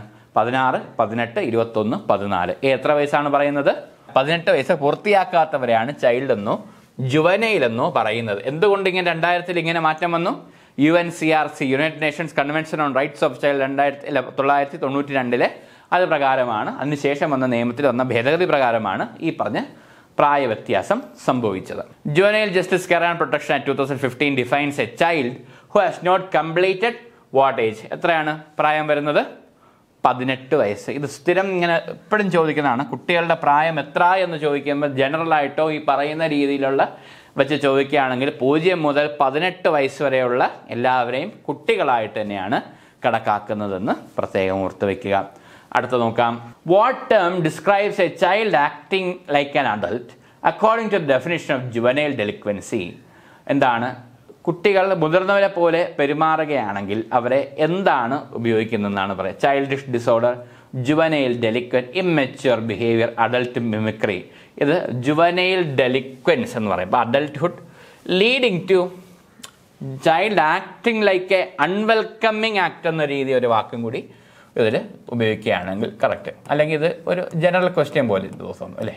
Unwelcoming action more or less acting like a child acting like a adult എന്ന് പറയുന്നത് ജുവനൈൽ ഡെലിക്വൻ എന്ന് പറയുന്ന കാര്യത്തിൽ വരാം. അല്ലെങ്കിൽ സാധാരണ സോഷ്യോളജിക്കലി നമ്മൾ പറയുന്ന ഇമ്മച്ചുവർ ബിഹേവിയർ എന്നൊക്കെ ചേരും ചൈൽഡിഷ് ഡിസോർഡർ എന്ന് പറയില്ല. അഡൾട്ട് മിമിക്രി എന്ന് വേണമെങ്കിൽ ചെയ്യാം. പക്ഷെ കൂടുതൽ അപ്രോപ്രിയേറ്റ് ആയിട്ട് വേണമെങ്കിൽ ഇമ്മച്ചുവർ ബിഹേവിയർ അൺവെൽക്കമിങ് ആക്ഷൻ എന്ന് പറഞ്ഞ് കുറച്ച് ഡെഫിനേഷൻ ഓഫ് ജുവനൈൽ ഡെലിക്വൻസിയിൽ പറയുമ്പോൾ തന്നെ ദ ക്വസ്റ്റ്യനിൽ തന്നെ കിടപ്പുണ്ട് ജുവനൈൽ ഡെലിക്വന്റ് എന്ന് പറയും. പിന്നെ not a cause of juvenile delinquency juvenile ഡെലിക്വൻസിയുടെ കാരണമല്ലാത്തത് ഏതെന്നാണ് ചോദ്യം? ബയോളജിക്കൽ കോസസ് സൊസൈറ്റിയിലെ എൻവയോൺമെന്റൽ causes academic success peer pressure ഏതാ വരുന്നത്? Academic success is not a cause of juvenile delinquency അടുത്ത ക്വസ്റ്റ്യൻ നോക്കാം. Which factor is not consider as a biological cause of juvenile delinquency low intelligence excessive strength traumatic experiences mental issues അതിൽ വരുന്ന traumatic experiences ആണ് biological cause അല്ല എന്ന് പറയുന്നത്. ജനിതകമായ കുറച്ച് കാര്യങ്ങളെയാണ് biological causes എന്ന് പറയുന്നത്. ഇത് ബയോളജിക്കൽ കോസസിനകത്ത് വരാത്തത് ട്രൊമാറ്റിക് എക്സ്പീരിയൻസസ് ആണ് എന്നാണ് പറയുന്നത്. അടുത്ത് നോക്കാം. What family factor has the greatest influence on the criminal behaviour of the juvenile ഒരു ജുവനൈലിന്റെ ക്രിമിനൽ ബിഹേവിയറിനെ സംബന്ധിച്ച് എന്ത് ആസ്പെക്റ്റാണ് ഗവേൺ ചെയ്യുന്നതെന്ന് പറയുന്നത്. സോഷ്യോ എക്കണോമിക് കണ്ടീഷനാണോ ഏറ്റവും കൂടുതൽ എഫക്റ്റ് ചെയ്യുന്നത്? പിയർ പ്രഷറാണോ ഫാമിലി ബാക്ക്ഗ്രൗണ്ടാണോ ആണോ? ഏതാണ് ദ ഗ്രേറ്റസ്റ്റ് ഇൻഫ്ലുവൻസ് ഏതാണെന്നാണ് പറയുന്നത്? The greatest influence will be from the family background ആണ് വരുന്നത്. ഓക്കെ അടുത്ത് നോക്കാം. Which societal condition can lead a child to indulge in illegal activities due to lack of parental supervision parental supervision ഇല്ലാത്തതുകൊണ്ട് ഏത് societal കണ്ടീഷനാണ് കുട്ടിയെ illegal ആക്ടിവിറ്റീസിലേക്ക് കടക്ക് നയിക്കുന്നത്? എന്താണ്? സോഷ്യോ എക്കണോമിക് കണ്ടീഷൻസ് ആണ് ലീഗൽ എന്താണ്? ആക്ടിവിറ്റീസിലേക്ക് കുട്ടിയെ ആ പറയുന്ന രീതിയിലേക്ക് എന്താണ്? കുട്ടിയെ കടത്തുന്നത് അല്ലേ? എന്തുകൊണ്ട് കുട്ടിക്ക് വേണ്ട ശ്രദ്ധ ലഭിക്കുന്നില്ല? സോ അത് സൊസൈറ്റിയിലായിട്ടുള്ള ഒരു ഫാക്ടറാണ് അല്ലേ? അപ്പോൾ സൊസൈറ്റിയിലായിട്ടുള്ള ഫാക്ടറായിട്ട് പറയുന്നു. അപ്പോൾ അവർ ഇല്ലീഗൽ ആക്ടിവിറ്റീസിലേക്ക് ഇറങ്ങുന്നു. ഈ തന്ന ഓപ്ഷൻസിന് കൂടുതൽ അനുയോജ്യമായിട്ട് വരുന്നത് സോഷ്യോ എക്കണോമിക് കണ്ടീഷനാണ് what type of influence can the neighbourhood have on a child no influence positive only negative only both positive and negative influence അല്ലേ? എവിടെ നിൽക്കുന്നോ അതനുസരിച്ച് അതിന്റെ വാസനയും രൂപപ്പെടും എന്നാണ് പറയുന്നത്. Increasing trends of what substance can use can trigger children to indulge in criminal activities എന്താണ് ഇൻക്രീസിംഗ് ട്രെൻഡ്സ് ഓഫ് ആൽക്കഹോൾ ഇതെല്ലാം തന്നെ കഫീൻ ആൽക്കഹോൾ ഡിക്കോട്ടിൻ ഷുഗർ കൂടുതലായിട്ട് most appropriate we can set is alcohol is the main reason okay അടുത്ത question നോക്കാം. Which medium plays an important role in overall development of a person according to the societal എൻവയോൺമെന്റൽ causes of juvenile delinquency ഏത് മീഡിയമാണ് അല്ല കൂടുതൽ? Traditional ഗെയിംസോ physical activities social media or books ഇപ്പോഴേറ്റവും most appropriate answer ഇതിൽ വരുന്നത് social media ആണ് കൂടുതലായിട്ട് അതിനുള്ള പ്രധാനമായ കാരണമായിട്ട് പറയപ്പെടുന്നത്. അടുത്ത ക്വസ്റ്റ്യൻ നോക്കാം. What role does the school play in and upbringing of a child concerning juvenile delinquency പ്രത്യേകിച്ച് റോളൊന്നുമില്ല. പോസിറ്റീവ് റോളാണ് main contributor if it fails to perform its function it always prevents delinquency school എപ്പോഴും അങ്ങനെ ചെയ്യുന്നുണ്ടോ എന്ന് ശ്രദ്ധിക്കേണ്ടതാണ്. So it can become a main contributor if it fails to performs its functions yes അല്ലേ അതാണ് സംഭവിക്കുന്നത്.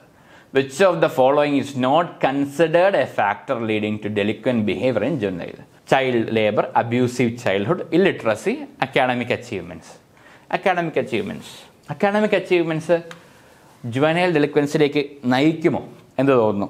അതും ഒരു ചർച്ച ചെയ്യപ്പെടേണ്ട ഒരു വിഷയം തന്നെയാണ്. അക്കാഡമിക് അച്ചീവ്മെന്റ്സ് എന്ന രീതിയിൽ അക്കാഡമിക് സക്സസ് ലഭിക്കാനായിട്ട് ഒരിടത്ത് ഈ കഴിഞ്ഞ വർഷം തന്നെ ഒരു കുട്ടിയെ ഇല്ലേ ഒരു കുട്ടി വലിയ രീതിയിൽ അവനൊരു ഫുഡ് കഴിക്കാൻ കൊടുക്കുകയും ആ കുട്ടി അങ്ങനെ മരിക്കുകയും ചെയ്യുന്ന ഒരു സംഭവം ഒരു സ്റ്റേറ്റിലുണ്ടായിട്ടുണ്ട് അല്ലേ?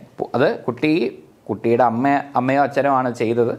കുട്ടിയും അറിഞ്ഞുകൊണ്ടായിരിക്കാം. അപ്പം അതും ഒരു ഇവൻ ഇത്ര മാർക്ക് കിട്ടുന്നു ഇല്ലേ? പ്രത്യേകിച്ച് റിലേറ്റീവ്സിനെ സംബന്ധിച്ചിട്ട് അല്ലേ? ചിലർ പറയും എന്താണ് ദേ- ദേ- ഇതാണ്. പറയും ദ ഫേക്ക് അല്ലേ? Jealous relative is more dangerous than an enemy എന്ന് പറയുന്ന ഒരു കൺസെപ്റ്റ് ഉണ്ട് ജനറലൈസ് ചെയ്യല്ല ഈ പറയുന്ന ഒരു കൺസെപ്റ്റ് ഉണ്ട്. അപ്പോൾ അതിലെ ഒരു സംഭവമാണ് ഒരു കുട്ടിക്ക് നേരെ. തന്റെ മകനെ കാട്ടി വേറൊരാൾ കൂടുതൽ മാർക്ക് മേടിക്കുന്നു. അവനൊരിക്കലും വളരാൻ പാടില്ല. അവൻ എങ്ങനെയെങ്കിലും തടയിടണം എന്ന രീതിയിൽ അവൻ വീട്ടിൽ വന്നപ്പോൾ എന്തോ ഭക്ഷണം കൊടുത്തു. അങ്ങനെ സംഭവിച്ച കാര്യങ്ങളുണ്ട്. അപ്പോൾ അക്കാഡമിക് അച്ചീവ്മെന്റ്സ് ഒരു രീതിയിൽ വേണമെങ്കിൽ പറയാം. പക്ഷേ ഇതിൽ മോസ്റ്റ് അപ്രോപ്രിയേറ്റ് ആയിട്ട് പറയുന്നത് not consider as a factor എന്ന് പറയുന്നത് അക്കാഡമിക് അച്ചീവ്മെന്റ്സ് ആണ്. ഇതൊക്കെ ഇതൊക്കെ എമർജിങ് ആയിട്ടുള്ള സോഷ്യോളജിക്കൽ സൈക്കോളജിക്കൽ ഫാക്ടേഴ്സ് അല്ലേ? ഇത് പഠിച്ച് വരുന്നേ ഉള്ളൂ ഇതിനെ പറ്റിയൊക്കെ പിന്നെ വരുന്നത് what is a status of offence in juvenile delinquency status offence എന്ന് പറഞ്ഞാൽ എന്താണ്? Behaviour that is illegal regardless of the age of offender behaviour that is only illegal because of the age of the offender a serious criminal act a minor traffic violation ഏതാണ്? Behaviour that is only illegal because of the age of the offender behaviour that is only illegal because of the age of the offender വരും. അടുത്ത question നോക്കാം. Which of the following is an example of status offence status ഒഫൻസിന്റെ example ഏതാ? Murder theft truancy arson ഏതാണ് കറക്റ്റായിട്ട് വരുന്നത്? ട്രുവൻസി എന്ന് പറയുന്നതാണ് status ഒഫൻസിന്റെ എക്സാമ്പിൾ എന്ന് പറയുന്നത്. ഓക്കെ ഇതിൽ നാലെണ്ണം പറഞ്ഞു. ഇതിൽ ട്രുവാൻസി ആണ്. എന്താണ്? സ്റ്റാറ്റസ് ഒഫൻസ് എന്ന് പറഞ്ഞത്. എന്ന് വെച്ചാൽ ഇന്റൻഷ്യലി സ്കിപ്പിംഗ് സ്കൂൾ എന്ന് പറയും. സ്കൂൾ ഇന്റൻഷനലി സ്കിപ്പിംഗ് ക്ലാസ്സസ് സ്കൂളിൽ പോവാതിരിക്കുക ചുമ്മാ ആബ്സെന്റ് ആകുക ഒരു റീസണും ഇല്ലാതെ ആബ്സെന്റ് ആവുകയൊക്കെ നമ്മൾ ട്രാൻസ് ചെയ്യുന്നത് ആർസൺ എന്ന് പറഞ്ഞാൽ പ്രത്യേക ഒരു ബിൽഡിംഗ് ഒക്കെ തീയിടുക എന്താണ് വെഹിക്കിൾസ് ഒക്കെ തീയിടുക എല്ലാത്തിനും തീ വെക്കുക എന്ന് പറഞ്ഞ് അവസാനം എല്ലാം കൂടി കത്തിച്ചിട്ട് പോവുക എന്ന് പറയുന്ന പോലത്തെ ഇൻ ഫയർ നശിപ്പിക്കുക കത്തിച്ച് നശ കത്തിക്കുക എല്ലാം കത്തിച്ചാമ്പലാക്കുക എന്നൊരു പ്രത്യേക ഉദ്ദേശത്തോട് അല്ലേ? പല പല കാര്യങ്ങളൊക്കെ നമുക്കറിയാം. അപ്പോൾ വി പി മേനൻ സാറിന്റെ അദ്ദേഹത്തിന്റെ ഒരു പുസ്തകത്തിലാണ്. അദ്ദേഹം സ്കൂൾ തീയിട്ടിട്ട് പോയി എന്നൊക്കെയാണ് പറയപ്പെടുന്നത്. ഡൽഹിയിലേക്ക് പോയത്. താൻ പഠിച്ച സ്കൂളിൽ തീ വെച്ചിട്ടൊക്കെയാണ് പോയതെന്നാണ് പറയുന്നത്. പക്ഷെ അദ്ദേഹം നല്ല നിലയിൽ വന്നു. പക്ഷെ ഇത് ഇത് അങ്ങനെ ഒരിക്കലും കണക്കാക്കപ്പെടില്ല. ആർസൻ എന്ന് പറയുന്നതിന്റെ കാര്യം മാത്രം നോക്കിയാൽ മതി. ഈ പറഞ്ഞ കാര്യം നിങ്ങൾക്കൊന്ന് റെഫർ ചെയ്യാം വേണമെങ്കിൽ. പിന്നെ arson building vehicle or vehicles in fire എന്നാണ് അതിനെയൊക്കെ തീയിടുക അങ്ങനെ നശിപ്പിക്കുക. അതൊക്കെ ഒരു ക്രിമിനൽ ആക്റ്റാണ് ആർസൺ എന്ന് പറയുന്നത്. ട്രുവാൻസി ഇന്റൻഷനലി സ്കിപ്പിംഗ് ക്ലാസ്സസ് അപ്പോൾ ഏറ്റവും സ്റ്റാറ്റസ് ഒഫൻസിന് എക്സാമ്പിൾ തന്നെയാണ് ട്രുവാൻസി എന്ന് പറയുന്നത്. Chin stand for the context of juvenile justice child in need of supervision child in need of safety child in need of support and child in need of services ഏതാ correct വരുന്നത്? Child in need of സൂപ്പർവിഷനാണ് വരുന്നത്. അടുത്ത question നോക്കാം. Delinquent offence ഏതാണ്? Running away from home violating curfew armed robbery ഇൻകോറഗിബിലിറ്റി ഏതാണ് വരുന്നത്? Armed റോബറിയാണ് delinquent offence ആയിട്ട് വരുന്നത്. ആംഡ് റോബറി പിന്നെ ഇൻകോറജിബിലിറ്റി ഇൻകോറജിബിലിറ്റി എന്ന് പറഞ്ഞാൽ എന്താണ്? നമുക്കൊരു ഒരു എന്നെ തല്ലണ്ടമ്പ അമ്മാവ ഞാൻ നന്നാവൂല. അത് തന്നെയാണ്. എത്ര തല്ലിയാലും എത്ര ഡിസിപ്ലിനറി പ്രൊസീഡിങ്സ് എടുത്താലും ആൾ നന്നാവൂല എന്ന് പറയുന്നതാണ് incorrigibility resistant towards resistant resistant towards any disciplinary or corrective measures corrective measures. അല്ലേ? ഇത്ര എന്തൊക്കെ ചെയ്താലും നന്നാവില്ല എന്ന രീതിയിലേക്ക് ഇൻകോറജിബിലിറ്റി അപ്പോൾ ഇവിടെ ഡെലിക്കന്റ് ഒഫൻസ് എന്തായാലും ആംഡ് റോബറി തന്നെയാണ്. അടുത്ത ക്വസ്റ്റ്യൻ നോക്കാം. Which of the following acts is included under delinquent offence concern with property crimes property ക്രൈമായിട്ട് ബന്ധപ്പെട്ട് എന്താ പറയുക ട്രുവാൻസി ആണോ? ഡ്രിങ്കിങ് ആൽക്കഹോൾ ആണോ? മോട്ടോർ വെഹിക്കിൾ തെഫ്റ്റ് ആണോ? വയലേറ്റിംഗ് കർഫ്യൂ ആണോ? ഏതാ വരുന്നത്? മോട്ടോർ വെഹിക്കിൾ തെഫ്റ്റ് എന്തുകൊണ്ട് പ്രോപ്പർട്ടി ക്രൈം എന്ന് പറയും ഇത് മോട്ടോർ വെഹിക്കിൾ ഒരു പ്രോപ്പർട്ടി അല്ലേ? അപ്പോൾ അതിന്റെ തെഫ്റ്റാണ് മോട്ടോർ വെഹിക്കിൾ തെഫ്റ്റാണ് ഇവിടെ കണക്റ്റായി വരുന്നത്. What is consider as a public order offence in juvenile delinquency അല്ലേ?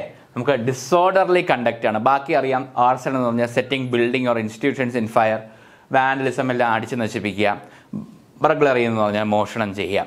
അപ്പോൾ ഡിസോർഡർലി കണ്ടക്റ്റ് ആണ്. പബ്ലിക് ഓർഡർ പൊതുസമൂഹത്തിൽ നമ്മുടെ പ്രത്യേക ഒരു പെരുമാറ്റച്ചട്ടം ഇല്ലേ? നമുക്ക് തന്നെ എഴുതി വെക്കാത്ത ഒരു പെരുമാറ്റച്ചട്ടം ഉണ്ടാകും പക്ഷെ അത് ആ ഒരു കണ്ടക്റ്റ് തന്നെ അത് ലംഘനം ചെയ്യുന്നതിനാണ് ഡിസോർഡർലി കണ്ടക്ട് ഇപ്പോൾ പബ്ലിക് ഓർഡറായിട്ട് കൂടുതൽ കണക്ട് ചെയ്ത് നിൽക്കുന്നത് ഈ ഡിസോർഡർലി കണ്ടക്റ്റ് ആണ്. അടുത്ത question which of the following offence is not considered a cause of juvenile delinquency juvenile ഡെലിക്വൻസിയുടെ cause അല്ല എന്ന് പറയുന്നത് എന്താണ്? Peer pressure financial issues abusive childhood high intelligence high intelligence തന്നെയാണ്. നമുക്ക് ഈസി ആയിട്ട് അത് ആൻസർ ചെയ്യാൻ പറ്റുന്നതാണ്. What is the role of curiosity in delinquent behaviour among juveniles കൗതുകത്തിന്റെ പ്രാധാന്യം എന്താണ് juvenile delinquency it has no role it has minor role significant factor only relevant to adults അല്ലല്ലോ. It is a significant factor what type of school failure can become a main contributor to delinquency സ്കൂളിന്റെ എന്താണ് ഒരു juvenile ഡെലിക്വൻസിലേക്ക് ഒരു കുട്ടിയെ നയിക്കാൻ സാധിക്കുന്നത്? Academic excellence ആണോ? നെഗ്ലിജൻസ് ഓഫ് സ്കൂൾ ഫംഗ്ഷൻ ആണോ? എക്സ്ട്രാ കരിക്കുലർ ആക്ടിവിറ്റീസ് ആണോ? സ്ട്രിക്ട് ഡിസിപ്ലിനറി മെഷേഴ്സ് ആണോ? ഏതാണ് വരുന്നത്? നെഗ്ലിജൻസ് ഓഫ് സ്കൂൾ ഫംഗ്ഷൻസ് ആണ് പ്രധാനമായിട്ട് വരുന്നത്. What is the legal definition of the juvenile in the juvenile justice act two thousand എന്താണ്? പ്രത്യേകിച്ച് പറയേണ്ടല്ലോ ഒക്കെ അറിയാലോ ടു തൗസൻഡിലെ ആക്ട് പ്രകാരം ജുവനലിന്റെ വയസ്സെന്ന് പറയുന്നത് പതിനെട്ട് വയസ്സാണ് വരുന്നത്. ഓക്കെ അടുത്ത question increased trends of what habit among parents and guardians can influence trend towards delinquency എന്താണ്? രക്ഷകർത്താക്കളിലുള്ള എന്ത് ട്രെൻഡാണ് കുട്ടികളെ ജുവനൈൽ ഡെലിക്വൻസ് ആക്കുന്നതെന്നാണ് പറയുന്നത്. Healthy eating physical fitness educational pursuit and alcoholism alcoholism ആണ് ഉത്തരമായിട്ട് വരുന്നത്. ഇങ്ങനെയൊക്കെ ആയിരിക്കാം ചോദിക്കുന്നത്. സോഷ്യോളജിക്കൽ ആസ്പെക്ട് എളുപ്പമായിരിക്കണമെന്നില്ല. കുറച്ചും കൂടി വേണമെങ്കിൽ ചോദിക്കാം. പിന്നെ വരുന്നത് which of the following is an effect of excessive strength and uncultured mental traits in juveniles effect of excessive strength and uncultured mental trait എന്താണ്? ജുവനൈലിൽ ഒരു ഒരു മെന്റൽ ട്രൈറ്റ് എന്താണ്? ഒരു എഫക്റ്റ് എന്താണെന്നാണ് ചോദിക്കുന്നത്. എൻഹാൻസ്ഡ് അക്കാഡമിക് പെർഫോമൻസ് ആണ്. Increase likelihood of delinquent behaviour improved social interaction decreased physical health എന്താണ്? Excessive strength and uncultured mental trait വരുമ്പോൾ increased likelihood of delinquent behaviour ആജാനുബാഹു ക്രൂരന്റെ സ്വഭാവം. അത് രണ്ടും കൂടി കുട്ടിയിൽ ഒരുമിച്ച് വരികയാണെങ്കിൽ പിന്നെ പറയണ്ട എന്നാണ് പറയുന്നത്. അപ്പോൾ അത് കറക്റ്റായിട്ടൊന്ന് റെഗുലേറ്റ് ചെയ്യുന്ന ഒരു mechanism school as well as in the family അല്ലെങ്കിൽ അവൻ എക്സസൈസ് സ്ട്രെങ്ത് കിട്ടുന്നവൻ എന്തെങ്കിലും മാർഷൽ ആർട്സ് പഠിച്ചിട്ടൊക്കെ വരുന്നവനാണെങ്കിലും അതിന്റെ ഒരു റെഗുലേഷൻ അവിടുത്തെ ടീച്ചേഴ്സും അത് കൊടുക്കേണ്ടതാണ്. What is the role of financial issues in juvenile delinquency they can contribute to delinquent behaviour അല്ലേ? ഫിനാൻഷ്യൽ ഇഷ്യൂസ് ഉണ്ടെങ്കിൽ തീർച്ചയായിട്ടും ഒരു ഡെലിക്വൻസിയിലേക്ക് പോകാം. അല്ലേ? പൈസ കിട്ടണം. എങ്ങനെയെങ്കിലും പൈസ സമ്പാദിക്കണം എന്ന രീതിയിൽ പല പല കാര്യങ്ങളിൽ ചെന്ന് ചാടാൻ സാധിക്കും. Which of the following is not a delinquent offence theft murder consuming tobacco burglary consuming tobacco ഒരു ഡെലിക്വന്റ് ഒഫൻസ് അല്ല. ഈ പറയുന്ന രീതിയിൽ വെച്ച് നോക്കുകയാണെങ്കിൽ ഡെലിക്വന്റ് ഒഫൻസിനകത്ത് വരുന്നതല്ല സ്റ്റാറ്റസ് ഒഫൻസ് ആയിട്ടാണ് പറയുന്നത്. Okay which of the following statement is correct അല്ലേ? Beginning of the age of criminal responsibility for juvenile should not be fixed at too low at age level അതാണ് okay U N C R C defines a child as any one below the age of twenty one years അല്ല. Juvenile justice act defines a juvenile boy a someone who has not complete sixteen years of age അപ്പോൾ ഇവിടെ answer എന്ന് പറയുന്നത് ഏതൊക്കെ സ്റ്റേറ്റ്മെന്റാണ് correct വരുന്നത്? One and three one and three ആണ് correct ആയിട്ടുള്ള ആൻസർ വരുന്നത്. അടുത്ത ക്വസ്റ്റ്യൻ നോക്കാം. Which of the following statement is are correct A juvenile delinquent is a child acting like an adult in disorderly manner Biological factors such as low intelligence and mental issues can lead to delinquent behavior among juveniles. Curiosity about sexual matters is not considered as a reason for delinquent behavior be- among juveniles. ഇതിൽ correct ആയിട്ടുള്ള statements ഏതൊക്കെയാണ് one and two ആണ് correct ആയിട്ടുള്ള statement curiosity among sexual matters is considered as a reason for delinquent behaviour among juveniles. Which of the following statement is or are correct? Children from hostile and aggressive family backgrounds are more likely to exhibit criminal behavior. Socio-economic conditions have no impact on juvenile delinquency. Influence of the neighborhood can significantly impact a child's tendency towards delinquency. അപ്പോൾ ഇതിൽ influence of a neighbourhood can significantly impact a child's tendency towards delinquency Socio economic conditions have no impact on juvenile delinquency okay അപ്പോൾ ഇതിൽ ഇൻകറക്റ്റായ ആയ statement ഏതെന്നാണ് ചോദ്യം? ഇൻകറക്റ്റായ statement ഏതാ? ഓപ്ഷൻ സി ആണ് അല്ലേ? ടു ഓൺലി ടു ആണ് ഇൻകറക്റ്റ് ആയിട്ടുള്ള സ്റ്റേറ്റ്മെന്റ് പറയുന്നത്. അടുത്ത ക്വസ്റ്റ്യൻ നോക്കാം. Which of the following statement is are correct child labour is not consider as a factor leading to delinquent behaviour in juveniles Status offenses are behaviors that are illegal for children but not for adults. Acts of violence such as murder, rape are considered delinquent offenses. ഈ പറഞ്ഞ child labour is not consider as a factor leading to delinquent behaviour in devise ആണോ അത് തെറ്റായ statement ആണ് status offense are behavior that are illegal for children but not for adults. Okay. Act of violence such as murder and rape are considered delinquent offenses. Yes. അപ്പോൾ ഏതാ correct ആയിട്ടുള്ള options two and three ആണ് correct ആയിട്ടുള്ള options വരുന്നത് അടുത്ത question നോക്കാം which of the following statements are correct peer pressure can contribute to commission of crimes by the juveniles. Yes, Schools can be a significant factor in either preventing or contributing to juvenile delinquency. Yes, juvenile delinquency includes both status offenses and delinquent offenses. Yes, അപ്പോൾ ഇതെല്ലാം correct ആണ് അപ്പോൾ option എന്ന് പറയുന്നത് all of them ആണ് correct ആയിട്ടുള്ള option okay അപ്പോൾ ഇത്രയുമാണ് ഈ പോർഷനുമായിട്ട് ബന്ധപ്പെട്ടുള്ള പ്രധാന ക്വസ്റ്റ്യൻസ് നമ്മൾ ഇനിയും ഇതിന്റെ എക്സാമിനോടനുബന്ധിച്ച് തന്നെ ഇതിപ്പോൾ പ്രീവിയസ് ക്വസ്റ്റ്യൻസ് ഇതൊക്കെ ആയിട്ട് ബന്ധപ്പെട്ട് നമ്മൾ വർക്ക് ചെയ്യുന്നതായിരിക്കും. അപ്പോൾ അടുത്ത ക്ലാസ്സിൽ നമുക്ക് എല്ലാവർക്കും വീണ്ടും കാണാം. അപ്പോൾ എല്ലാവരും വീണ്ടും കാണുന്നവരെ എല്ലാവർക്കും thank you and thank you so much നന്നായി പഠിക്കുക. Thank you